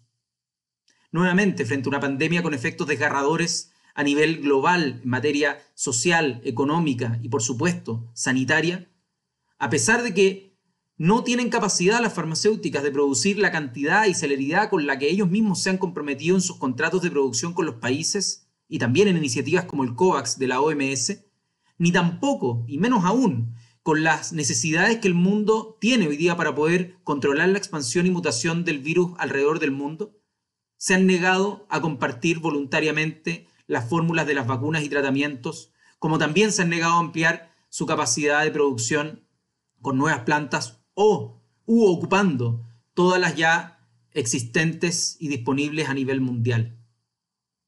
Causa indignación que ninguna haya respondido al llamado de solidaridad hecho por el presidente de Costa Rica con la adhesión de 43 países en el marco de la OMS, que dio origen al COVID Technology Access Pool, que gestiona dicha organización y que pide a las farmacéuticas y centros de investigación licenciar y compartir voluntariamente el conocimiento para la producción de vacunas, tratamientos y otras tecnologías. Igualmente escandalizan las condiciones abusivas que han impuesto a los gobiernos y organizaciones que han contratado la provisión de dichas vacunas, preocupándose principalmente por sus ganancias sin importar mucho el cumplimiento de los tiempos y cantidades acordadas, menos aún de las personas que van a quedar al margen sin acceso a estas vacunas. Es ante esta situación que es nuevamente indispensable que la comunidad internacional adopte medidas urgentes que pongan fin a esta escasez artificial creada por los monopolios de las patentes, porque impide ampliar la capacidad de producción y distribución de vacunas o tratamientos, lo que repercute en la dificultad de abordar la pandemia de, forma global, oportuna y justa. Por eso es que hoy podemos actuar en múltiples niveles. Primero, construir sobre lo avanzado en la Declaración de Doha, sobre propiedad intelectual y salud pública, garantizando la libertad de los países para adoptar en el contexto de la propiedad intelectual todo lo que sea necesario para asegurar el acceso a las tecnologías del COVID, sin el riesgo jurídico de demandas por incumplimiento a las disposiciones de los ADPIC o TRIPS. En segundo lugar, construir nuevas formas de mandato sobre la inversión pública e incentivos a la industria que no impliquen la privatización del conocimiento y la dificultad de realizar la transferencia tecnológica que necesitamos en momentos como este. En tercer lugar, necesitamos unirnos como sur global para rediscutir los marcos jurídicos que hoy rigen el comercio y las relaciones internacionales, en las que domina la posición de los países más aventajados en el norte global. Un buen inicio para esto debería ser un tratado sobre las pandemias. Me despido enviando un abrazo fraterno a ustedes y a través suyo a todas y todos los trabajadores de la salud en sus países que han sido fundamentales para mitigar parcialmente los efectos del COVID. Estoy convencido que la acción colectiva y la presión internacional puede llevarnos a muchos mejores resultados que los que nos ha llevado lamentablemente este sistema que se preocupa del individuo, que se preocupa de, eh, lucro y no pone por encima eh, el derecho a la salud y al bienestar de la población. Un abrazo y nos estamos viendo.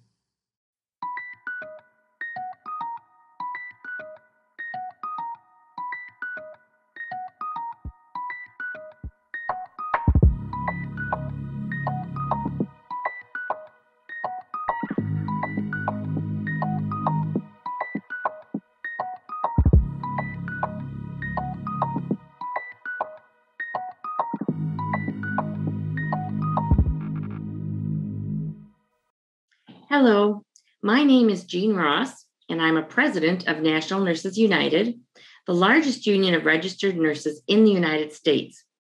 It's an honor to join you for this important Summit for Vaccine Internationalism. Nurses and healthcare workers around the world have witnessed firsthand the toll this horrific pandemic has taken. Here in the US, 600,000 of our patients, family, and community members have died of COVID 19. Almost 4,000 healthcare workers have lost their lives, including over 400 nurses and 23 members of our union. It didn't have to be this way. But our profit driven healthcare system and decades of cuts and privatization of our public health and social welfare programs left us catastrophically unprepared for this pandemic.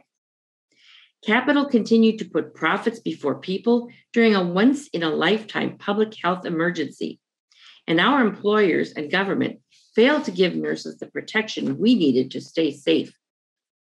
The Biden administration has taken important steps to expand vaccination in the US, end our economic crisis, and improve workplace protections for healthcare workers. But there is more to be done. We need stronger COVID 19 safety measures for all workers in communities.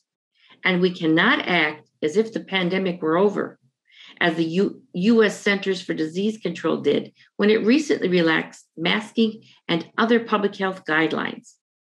Nurses know that this pandemic is not over.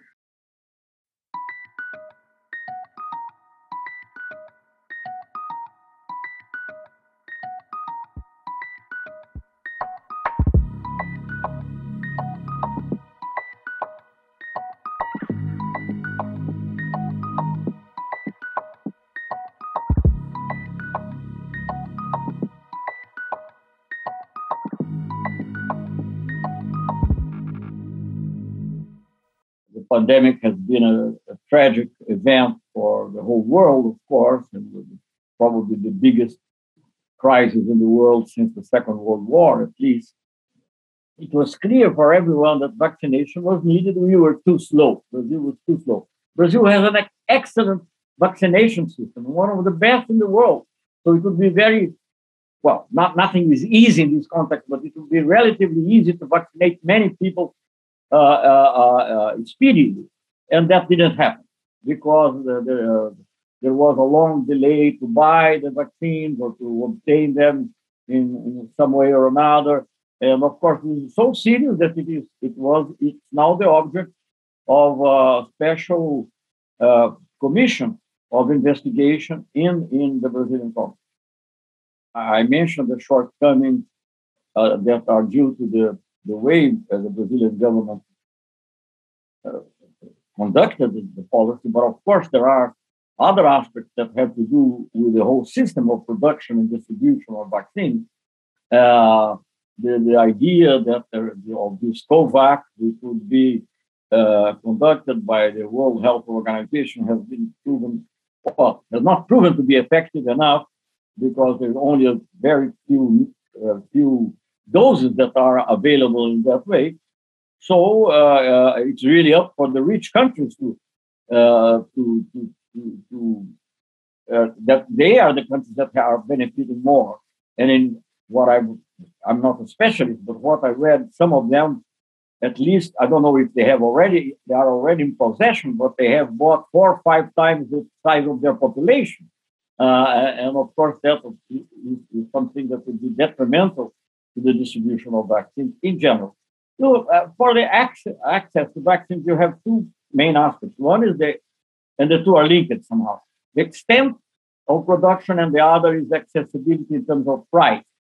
And uh, for, for these two things to be uh, properly addressed, there is a very important initiative which India and South Africa uh, have taken, and then later on, even President Biden somehow supported. I don't know exactly how in the fine print it will be, but in any case, the fact that the President of the United States has somehow desanctified the idea that intellectual property is uh, is not is more important than, than, than, human life is in in itself very important. And I think this is uh, uh, I think the way that we can proceed. I mean, you have to increase the production, uh, ensure that it will be the distribution will be more equitable.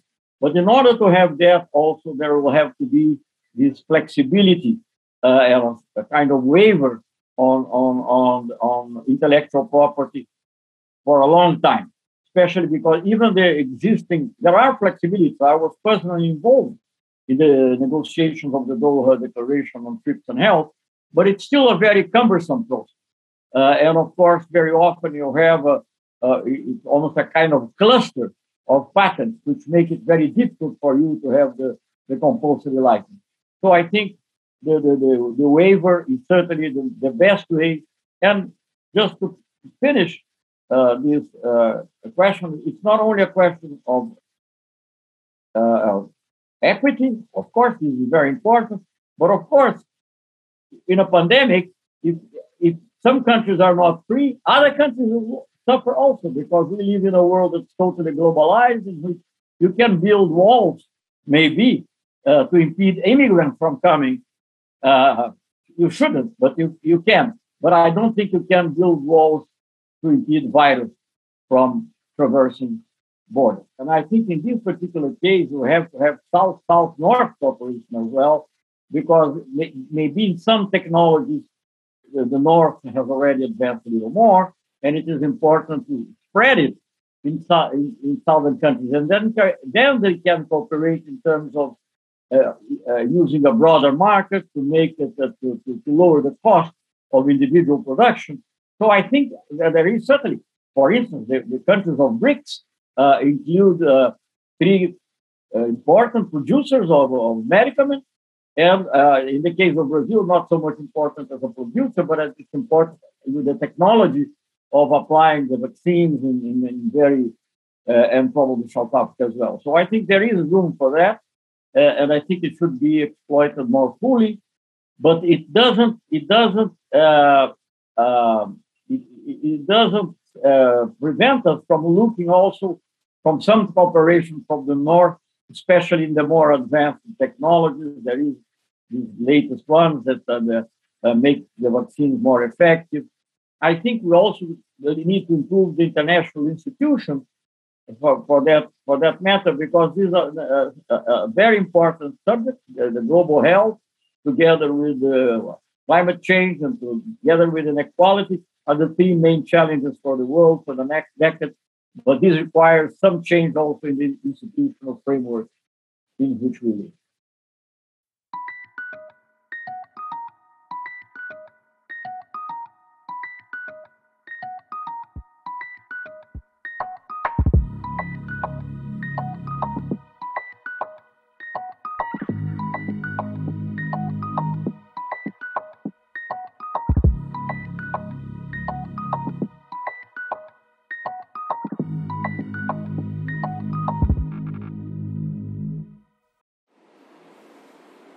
नमस्कार।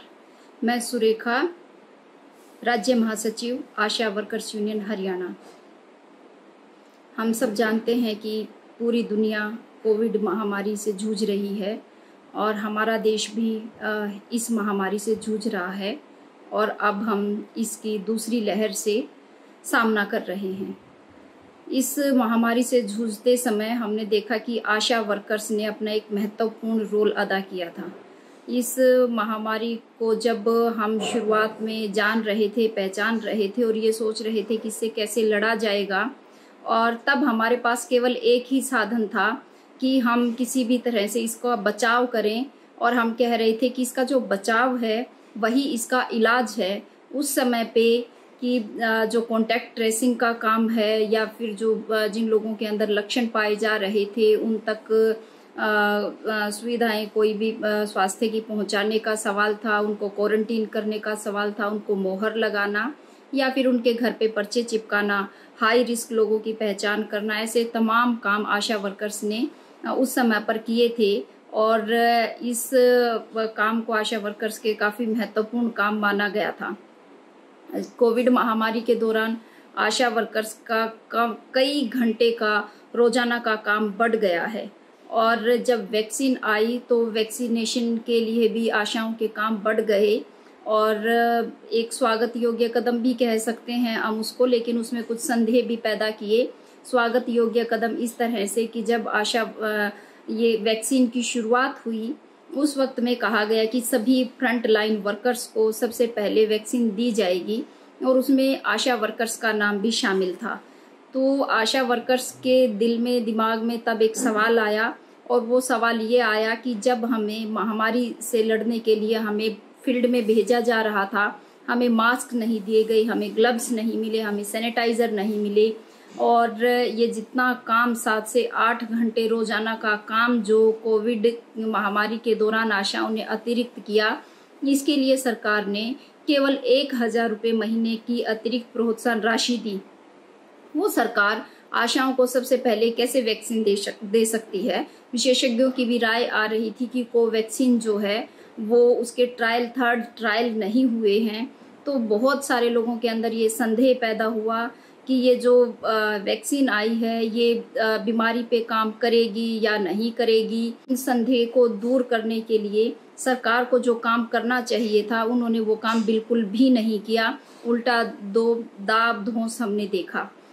अब जब हम corona की दूसरी लहर से जूझ रहे हैं और ये काफ़ी भयानक है और जो डाटा सरकार दिखा रही है या वो जो बता रही है, संक्रमण की दर वो जो बता रही है और मौत का आंकड़ा वो जो दे रही है, ये सच्चाई नहीं है। और इससे कहीं ज़्यादा बड़े पैमाने पे लोगों की मृत्यु हो रही है। और हम ये भी देख रहे हैं कि आशा वर्कर्स की भी इस दौरान सेकंड लहर में काफ़ी मौतें हुई हैं। वो कोविड संक्रमित थी, वो हॉस्पिटल्स में एडमिट थी उनका इलाज चल रहा था कोविड का लेकिन जब उनकी डेथ हुई तो उनको ये कहा गया कि इनकी डेथ का प्राइम कारण कोविड नहीं है। ये इनके पहले से कोई और बीमारी थी इनकी हार्ट अटैक से मौत हुई है या तो जो फ्रंट लाइन वर्कर्स हैं उनकी ही गिनती यदि हम जगह नहीं पाते आंक, आ, सरकारी आंकड़ों में यदि तो फिर और जो सामान्य मौतें हो रही हैं वो कैसे जगह पाएँगी? तो ये अपने आप में एक संदेह पैदा कर रहा है। और फिर इस दिशा में जब हम वैक्सीन की बात करते हैं तो वैक्सीन अब लोगों का रुख थोड़ा बदल गया है वैक्सीन के बारे में, और अब वो चाहते हैं कि वैक्सीन लगे। लेकिन अब वैक्सीन की अवेलेबिलिटी कम हो गई है, अब वैक्सीन अवेलेबल नहीं हो रही। तो ये इतना जो डर का माहौल और ये सब चीज़ें बनी हैं, इसकी कई सारी वजहें हैं। खुद जो सरकार का रवैया है और हम सरकार में कहें कि उनके बहुत सारे मंत्री, संतरी, उनके विधायकों ने और जो जिनके काफ़ी हम कहें कि आशीर्वाद है सरकार का, ऐसे लोगों पे उन्होंने न केवल एलोपैथी का मज़ाक बनाया, उन्होंने वैक्सीन का भी मज़ाक बनाया है। और उस संदर्भ में लोगों का विश्वास जो है वैक्सीन पे नहीं बन पा रहा है। खुद जो हमारे देश के अंदर अब जो भाजपा शासन में है, उनके जो मंत्री हमें ये कहते हुए मिले हैं कि आप गोबर का लेप कीजिए, इससे कोविड भाग जाएगा। आप गोमूत्र पीजिए, इससे कोविड भाग जाएगा। बाबा रामदेव जी को हमने सुना कि उन्होंने वैक्सीन वैक्सीन का भी मज़ाक उड़ाया, हमारे डॉक्टर्स का भी मज़ाक उड़ाया। तो ये जो तमाम चीज़ें चल रही हैं, इन्होंने वैक्सीन के संदर्भ में भी कई सारे संदेह पैदा किए हैं। और इसकी वजह से दो समस्याएँ हम हमारे देश में झेल रहे हैं। एक समस्या तो ये है कि वैक्सीन के ऊपर लोगों का भरोसा नहीं है। एक बड़ा ऐसा तबका है जो वैक्सीन लेना नहीं चाहता और दूसरा ऐसा भी बड़ा तबका है जो वैक्सीन लेना चाहता है लेकिन उनके लिए वैक्सीन अवेलेबल नहीं है। इस, हम दुविधा से आज के दिन गुजर रहे हैं और इस पे यदि सरकार कोई सकारात्मक प्रचार अभियान चलाए और लोगों को विश्वास में लेके समझाने की कोशिश करे तो हम इससे पार पा सकते हैं। और वैक्सीन को भी यदि बड़े स्तर पर उत्पादन करके सब लोगों तक, कम समय में सब लोगों तक वैक्सीन पहुँचाने की यदि कोई कोशिशें हो सकती हैं तो हम इस बीमारी से पार पा सकते हैं। नहीं तो हम काफ़ी मुश्किल महसूस कर रहे हैं और मुश्किल समय में हैं।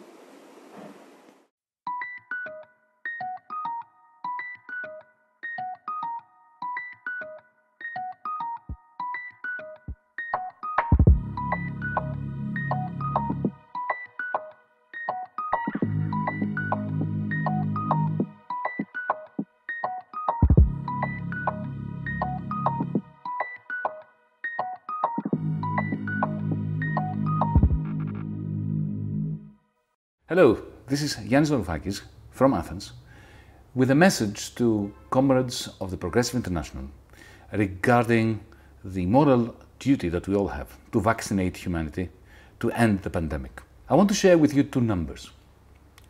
$9,000 billion. $9,000 billion, $9 trillion.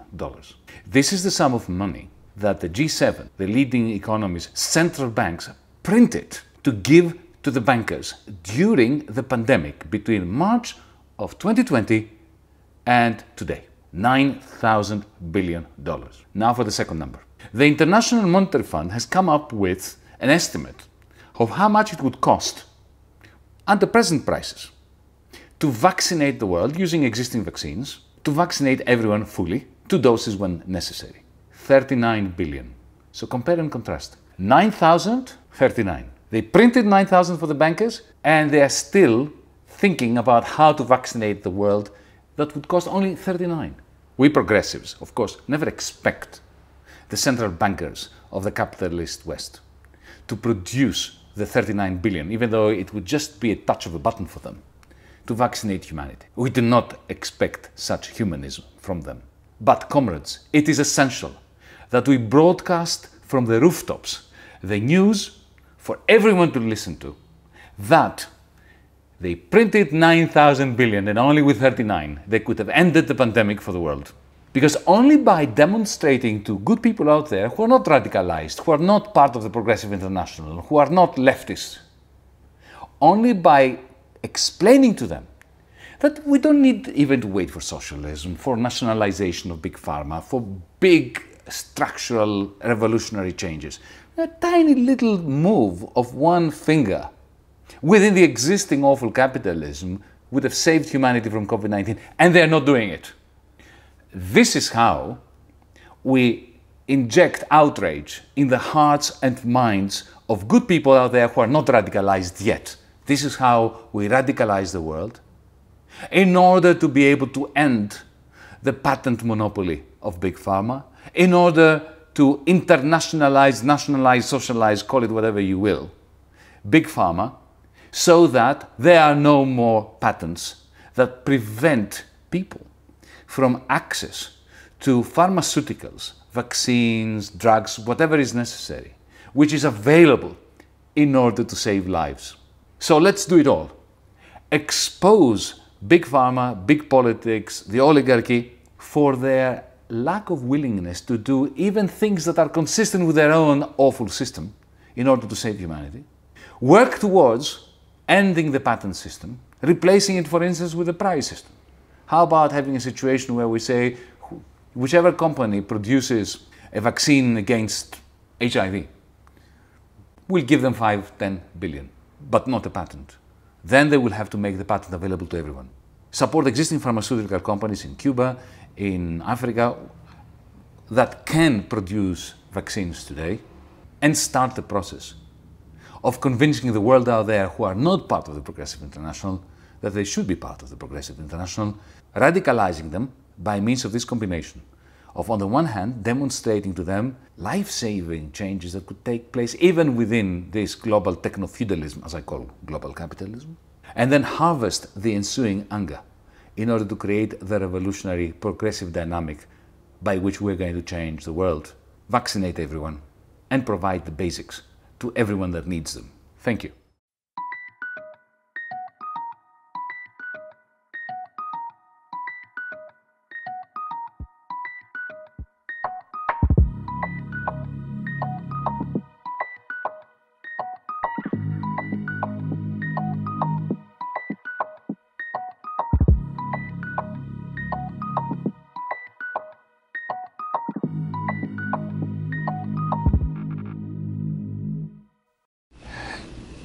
Quiero saludar la iniciativa de la Internacional Progresista por convocar a una cumbre por el internacionalismo de las vacunas.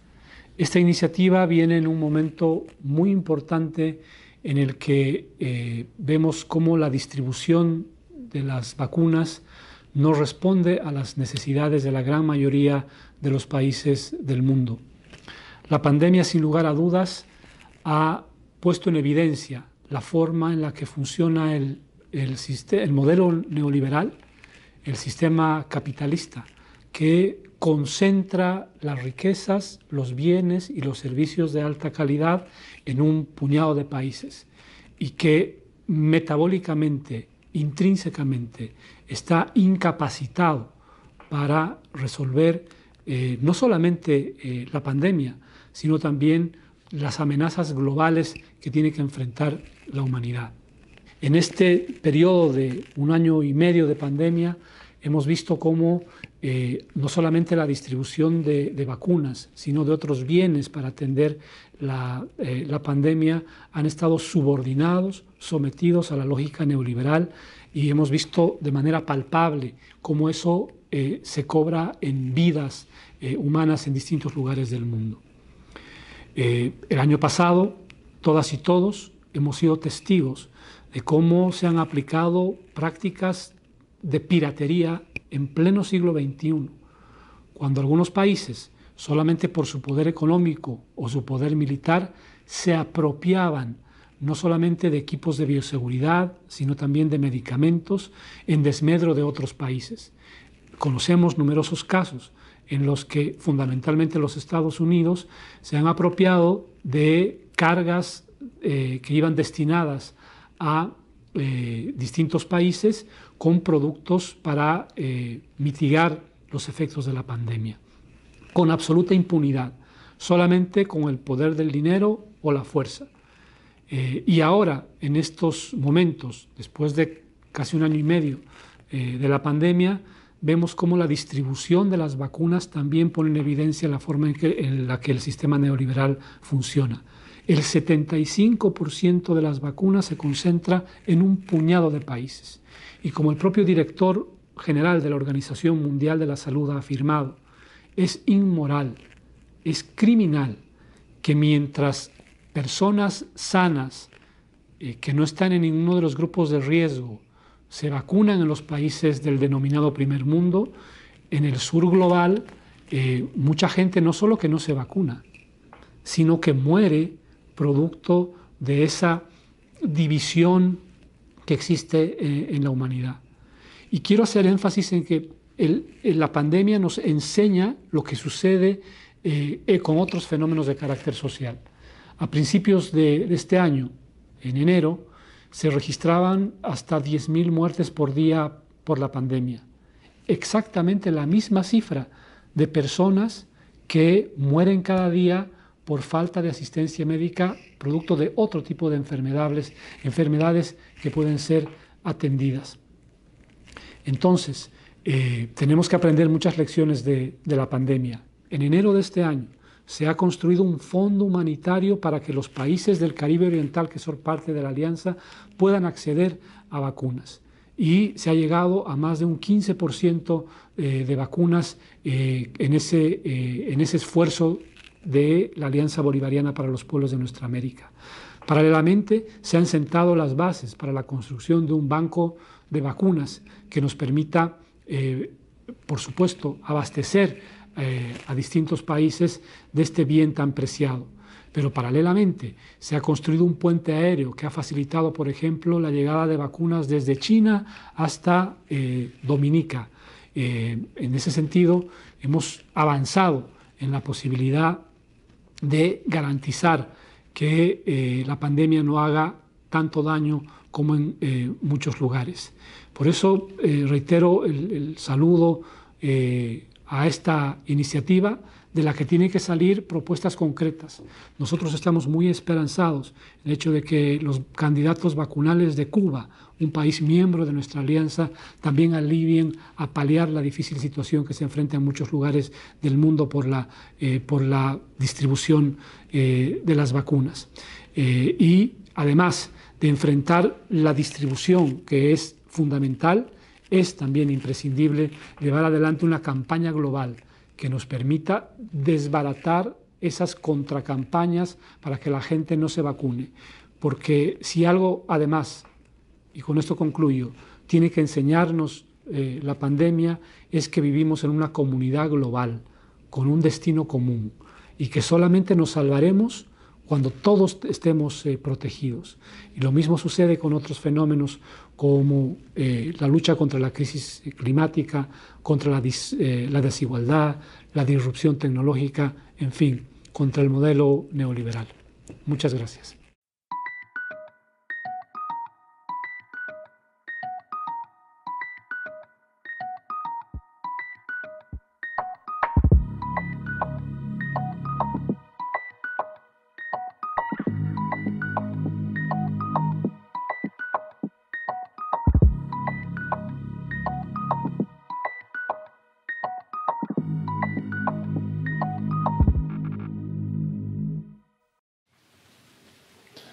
Olá pessoal, tudo bem? Eu sou Antônio Lisboa, secretário de Relações Internacionais da CUT Brasil.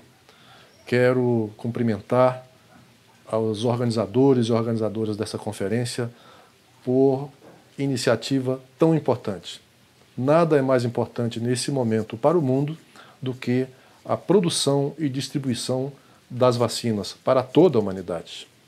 Nós sabemos que a produção de vacinas, a descoberta de vacinas para a Covid-19 em tão pouco tempo são um êxito da humanidade, né? um sucesso da ciência. No entanto, a produção dessas vacinas em tão pouco tempo foi possível em função de recursos de governos nacionais, pesquisas em universidades, muitas vezes públicas, e, portanto, são um bem da humanidade. Não podem servir como uma commodity a serviço das grandes farmacêuticas do mundo inteiro. Portanto, a democratização das vacinas é fundamental. E para isso, em primeiro lugar, nós defendemos a quebra das patentes das vacinas, para que todos os países que possam produzir vacinas produzam. Em segundo lugar, que seja feita a distribuição justa dos insumos de produção da vacina e assim a gente possa fazer com que a grande maioria da população, especialmente dos países mais pobres, possa ter acesso a essas vacinas o quanto antes. Nós não podemos utilizar da, do resultado da ciência, que, como disse, produziu em tão pouco tempo vacinas para combater a pandemia, como um bem que vai gerar mais concentração de riqueza e mais eh, desigualdade no mundo. A quebra das patentes, portanto, é fundamental. Nós queremos que o mundo volte a uma normalidade, mas não a normalidade que a gente tinha antes da pandemia, que já era de um mundo injusto, desigual e que não respeitava o planeta. Nós queremos uma nova realidade para depois da pandemia, com um mundo justo em que as pessoas possam viver tranquilamente em todos os cantos do planeta. Por isso, a discussão sobre a democratização e distribuição das vacinas se torna tão importante nesse momento. Grande abraço para vocês, sucesso no evento.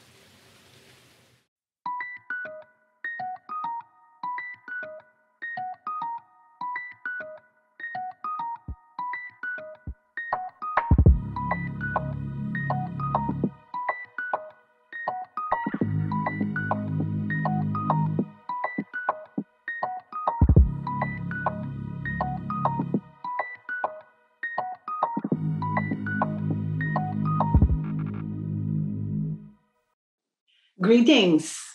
I'm Zenei Triunfo Cortez, a registered nurse and president of National Nurses United. NNU is a co founder of Global Nurses United, an international federation of nurse and healthcare workers unions in 29 nations around the world. GNU members are on the front lines as the virus rages across the global south. So far, less than 1% of vaccine doses have gone to low income countries, as wealthy countries hoard 85% of available doses. Many GNU nurses still lack access to personal protective equipment, tests, and treatments. They, along with billions of their patients, family, and community members, could have to wait two years or more to get vaccinated. This vaccine apartheid is completely unacceptable. Not only will it cause immense and avoidable suffering and death in low and income and middle income countries, it will prolong the global pandemic by allowing dangerous new variants to spread. Nurses know exactly who to blame Big Pharma and their political allies. The truth is, we can vaccinate the world now. Global South countries have the capacity to manufacture and distribute COVID 19 vaccines, but pharmaceutical companies are blocking them, spending millions on lobbying to preserve intellectual property barriers, even though COVID vaccine development was largely publicly funded. No one should die for drug company profits, especially during this pandemic. We applaud the Biden administration for announcing the US will support a waiver of some provisions of the World Trade Organization TRIPS agreement to bolster production and equitable distribution of COVID 19 vaccines. This is a crucial step toward ending the pandemic, but it's not enough. Several wealthy nations still oppose the TRIPS waiver, and the current December deadline for a final waiver text is far too late. We need a waiver now.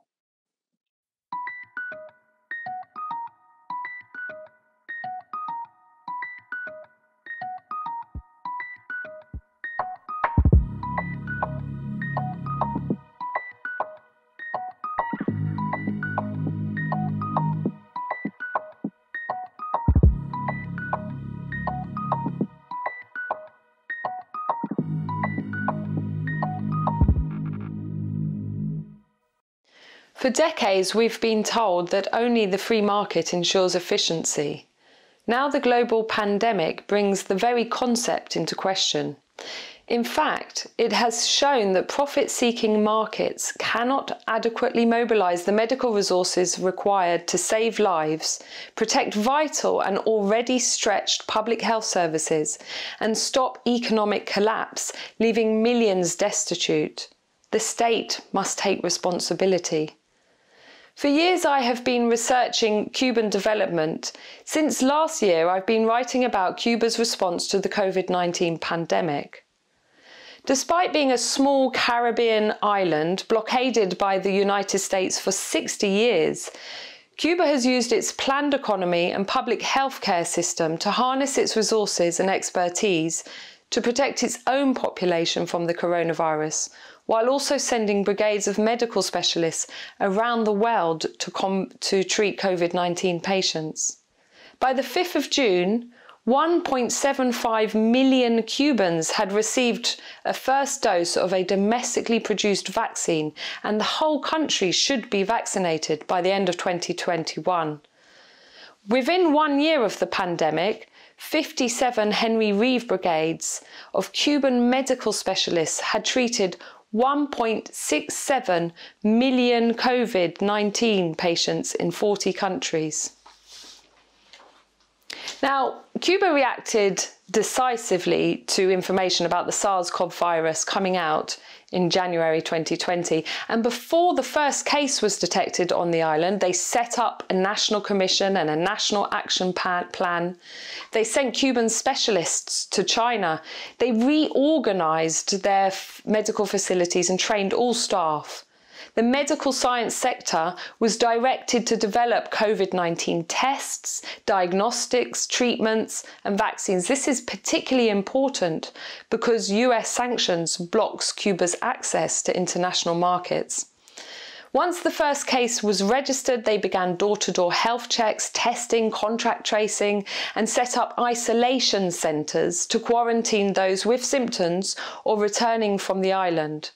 Anyone was COVID with COVID was treated in hospital. They introduced a strict lockdown, which was backed up with financial support and welfare protections to the population and closed their borders. They drew on community mobilization and communication. Now, there are five features of Cuban development which help us to understand Cuba's response to COVID 19. The first and most important is Cuba's single universal free public healthcare system, which seeks prevention over cure, with a network of family doctors responsible for community health who live among their patients. Cuba has the highest ratio of doctors per capita in the world. Second is Cuba's entirely state owned biopharma industry. There are no private interests or speculation. It's channeled to meet public health needs and produces between 60 and 70% of the medicines consumed domestically, and it exports to nearly 50 countries. Cuba Biopharma has adapted and produced new treatments for patients with COVID 19 and developed five domestically produced vaccines, with more in the pipeline. Third, their experience in civil defence and disaster risk reduction. Usually, this is in response to climate related and natural disasters. Cuba has an internationally applauded capacity to mobilize national resources to protect human life. This is achieved through a network of grassroots organizations which facilitate communication and community action. Fourth, their experience with infectious diseases and border controls. Since 1959, six diseases have been eliminated in Cuba through their vaccination program. Cuba has a well developed procedure for quarantining people who are entering or re entering the island, and this was developed as Cuban healthcare professionals travel to countries to serve underserved populations which have infectious diseases eradicated on the island, and for the foreigners from those countries who were invited to Cuba to study or for treatment.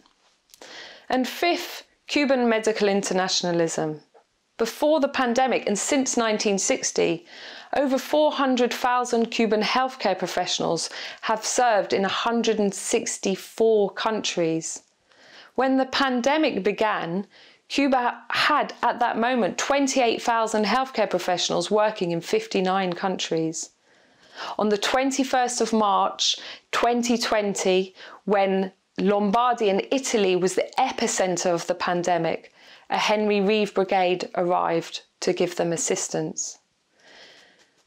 Now, in all these aspects, Cuba has faced one major obstacle, and that is the United States blockade or embargo. This has been ongoing for 60 years. Sanctions are not a bilateral matter, they are extraterritorial, affecting Cuba's trade with the rest of the world. The total cost of the blockade is ca calculated at over 144 billion. And that is 3.27 billion just as an impact for the healthcare sector. The Trump administration added over 240 new measures, actions, and sanctions to make the situation more difficult for Cuba, including 50 during the pandemic. From April to, to, December 2020, the Cuban healthcare sector suffered losses of $204 million due to sanctions in the context of the pandemic. The US blockade obstructs Cuba's access to ventilators, spare parts, reagents, medical equipment, including syringes needed for vaccination. Even international donations are blocked. On June the 23rd, the United Nations General Assembly will once again support Cuba's motion to condemn the US embargo of Cuba. And yet there is a lack of will to confront the US over its punitive and extraterritorial sanctions. So, what can we take from Cuba's response to the COVID 19 pandemic? Well, Cuba spends a tiny proportion of what Britain and the United States spend on healthcare. Despite this, by planning their scarce resources, they have been capable of organising an effective response to a global pandemic. The key to Cuba's performance has not just been the fact of state intervention, it is the nature of that intervention. Cuba's socialist system is set up to prioritize social welfare, not private profit. Now, that may not be a lesson that other nations are ready to hear, but Cuba's international assistance during the pandemic at least shows the benefits of global cooperation and solidarity for addressing global problems.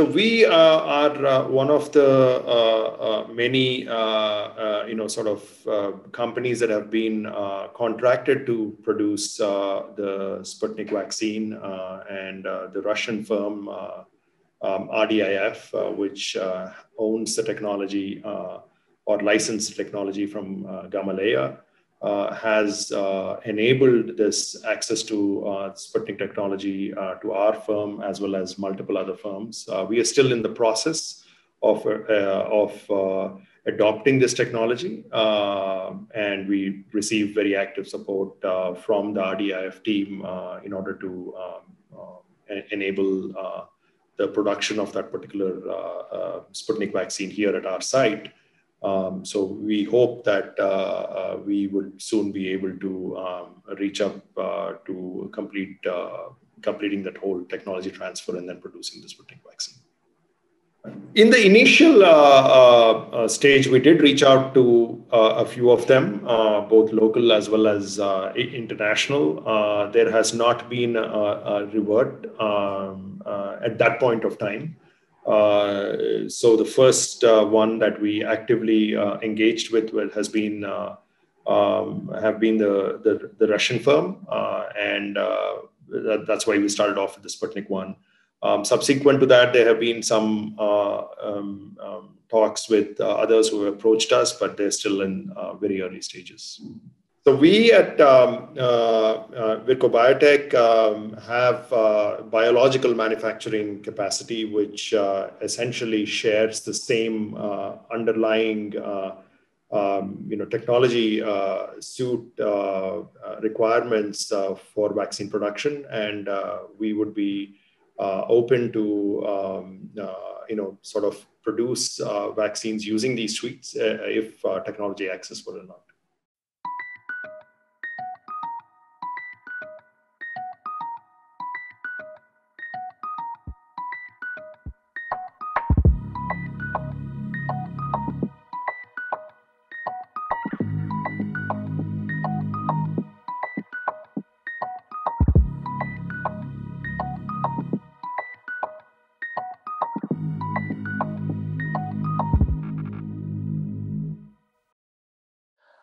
I'm Deborah Burger, RN and President of National Nurses United. We call on the Biden administration to work to convince every WTO member nation to agree to an effective waiver as quickly as possible. The waiver must also extend beyond vaccines to include PPE, diagnostic tests, treatments, ventilators, and other crucial medical supplies. And it should be of sufficient duration to ensure that we can meet global demand and end the pandemic. The Biden administration should immediately direct American companies to share their technology and manufacturing know how with producers around the world, and the US should lead other wealthy nations in immediately scaling up vaccine production and massively increasing donations abroad. And NNU nurses know it'll take collective action on a mass scale to get the protections we need and ensure an equitable end to the pandemic.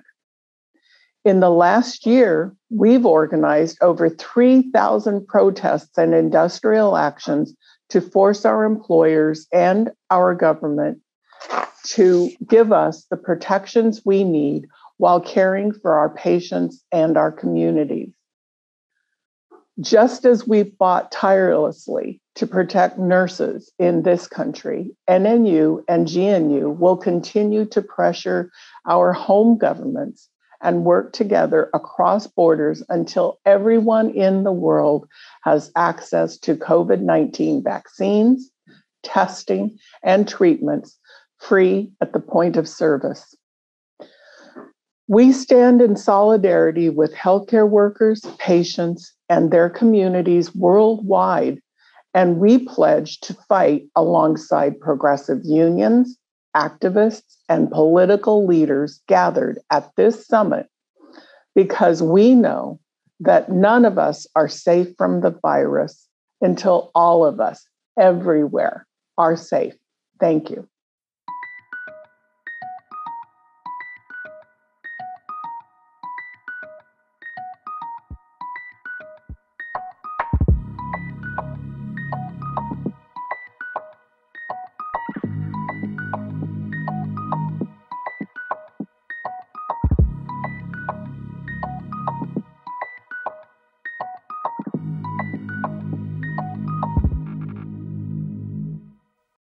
Fortunately, there is a decline of coronavirus in Pakistan. Less than 2% of those tested for corona are affected by this uh, uh, pandemic. And this is not the result of the government policies that uh, they have effectively controlled as the present government is claiming. This is the consciousness of the people who have come to this conclusion that they have to go for the vaccine Initially, there was hesitation among the people on the advocacy of the religious people to go for vaccine. We as uh, Pakistan Kisan Rabta Committee, Haqooq-e-Khalq movement, we had the first webinar attended by hundreds to campaign for people's vaccine for all in the initial stage and the government has to listen to us. Initially, this government allowed private uh, Uh, laboratories to import the vaccine. And Pakistan was the first country to do that. And we campaigned against it. We held press conferences used social media and used all our trade unions peasant organizations meetings to campaign against this private usage of the vaccine. We demanded government must treat vaccine as they have treated the polio drops because they were providing free of cost the polio drops and the other vaccines. Why not this one? And also we said in our uh, campaign material that this pandemic is not a Jewish pandemic, not a Christian or Hindu pandemic. It's a virus. So we have to treat it as a virus. It has nothing to do with the religion. So we fought against the religiously dominated ideas on coronavirus. At present time, 10 million people have been vaccinated in Pakistan. And fortunately, government under the pressure of groups like us has opened up vaccine for all and free of cost. But they don't have the required numbers of doses for vaccine. It's a 200 million population and only 10 million has been vaccinated and they plan to go for 70 million people uh, by the end of this year. That they did not buy vaccine. They did not put any money for that. They just were waiting for donations. And they spent all the money on on uh, non-development expenditures. They paid uh, the debts uh, and it was criminal act to pay over 7 billion us uh, uh, dollars as repayment to the imf and other financial institution during the coronavirus period. They paid 25% more debt than they did uh, the last year.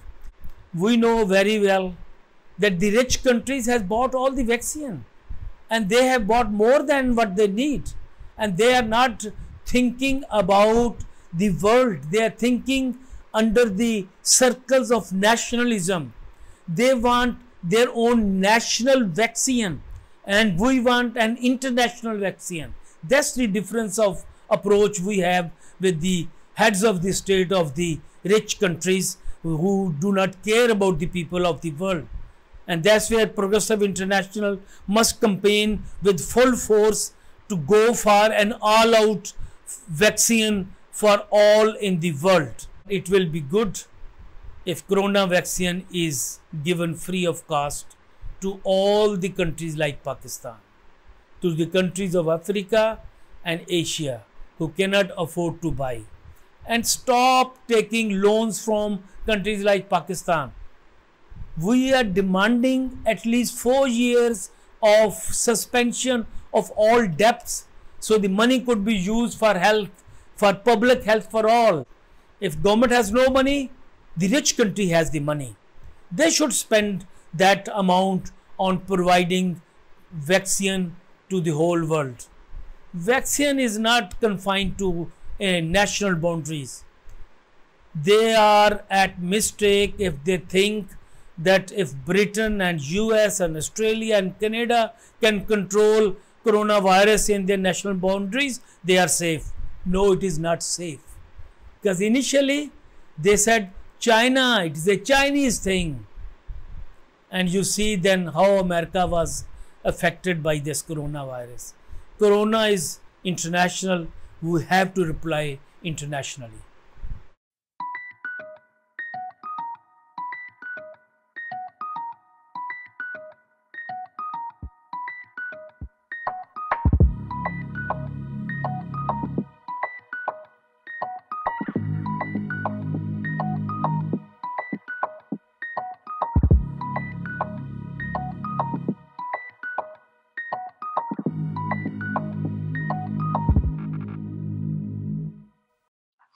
Uh, South Africa is ranked 19th in the world on the uh, COVID Worldometer Index uh, by cases. Uh, we've previously been in the top 10. Uh, we are ranked 14th by deaths, although research suggests that we are recording officially only possibly half as the, the total number of deaths attributable to the COVID 19 pandemic. Um, when we come to the vaccine rollout, however, South Africa is ranked 79th on the world indexes, and only 0.8% of the population fully vaccinated as of the 8th of June. Now, the reason for the slow rollout are many. However, one of the reasons why the campaign got off to a very slow start was that the multinational big pharma companies that produced and supplied the vaccines all demanded indemnity and that the government establish a fund to deal with any litigation that may arise. Right now, as we are on the cusp of a potential third wave of COVID infections, the, the issue is simply the non availability of sufficient vaccines to uh, increase the pace of the rollout. What we have seen is, is that the big pharmaceutical companies, which were making a slow withdrawal from the production of vaccines because they were not considered profitable in the past, suddenly moved in to produce these vaccines with public money uh, allocated to them to, to begin the research, and now sitting with hugely increased profit margins. This is the world of, of profits before people of profits driving the distribution and rollout of vaccines. One of the uh, issues facing the African continent, one of the lessons which you've learned, is that Africa can no longer afford to be in the situation that it's in now, where 99% of all vaccines administered are fully imported. Africa does have production capacity, mostly in the area of generics and mostly production under license uh, of uh, by multi uh, under under license given by by multinationals. But there is also innovation taking place, and I think that there is an emerging consensus on this continent that in the future we have to develop our own production capacity. An opportunity arises for us to do this from the African Continental Free Trade Area, which, if we are able to develop this in such a way that it supports the emergence of regional value chains, could allow cooperation and the emergence of value chains producing a whole range of pharmaceutical products. One of the impediments that we have to come to terms with in achieving this is the existing intellectual property regime. These intellectual property rights, as they are now structured, are supporting and allowing extensive monopoly conduct by big players and by big pharmaceutical companies in particular. They allow these companies to decide on the basis of profit decisions whether to supply or withhold supply from particular jurisdictions. They allow them to apply price discrimination. They allow them to choose or not to choose uh, any any uh, partners that they may wish to link up with in the production of vac- vaccines, and they also allow extensive abuse of the system through arrangements like evergreening, which allow patents to be rolled over in perpetuity by making very small adjustments to them. All of this is underpinning this uh, situation that we have now. So, South Africa, along with India, uh, championed and began a process of calling for a, a, a waiver, a temporary waiver actually, uh, on uh, the TRIPS uh, obligations for the production of, of vaccines. I'm happy to note that the TRIPS Council a few days ago agreed that this would now go into text based negotiations. So I believe it's important that we support this call but we also be very, very vigilant about what I call two Ds delay and dilution. We cannot allow that to happen. We also need to realize that if we do achieve this uh, important objective and we do get the TRIPS waiver through in a form uh, that is uh, sufficient to support uh, at least uh, some uh, initial response to the, the COVID emergency, then this needs to be followed, I think, by a much more thorough and systematic examination of the patent system, uh, which is allowing uh, monopoly conduct. So the quest has to be to put people before profits and not allow this vaccine apartheid, which has emerged from the existing regime, which is putting profits before people. Thank you very much.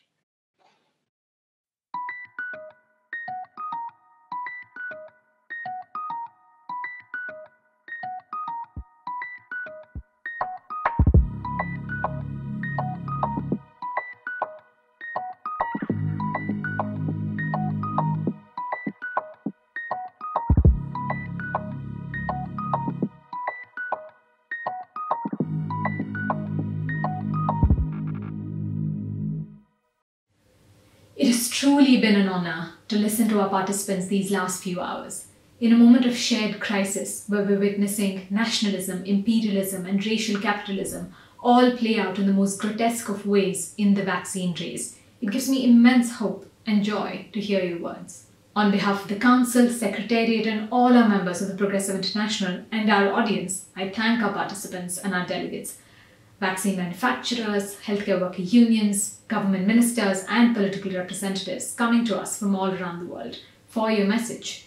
Vaccine internationalism is how we end the pandemic. As our delegate said, not only are we focused on resolving vaccine access in our countries, but strengthening the foundations of a world order that will not allow such injustices to occur ever again.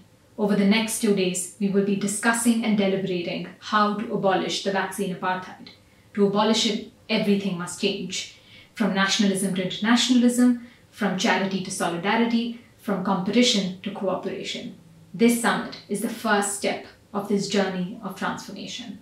Thank you for joining us.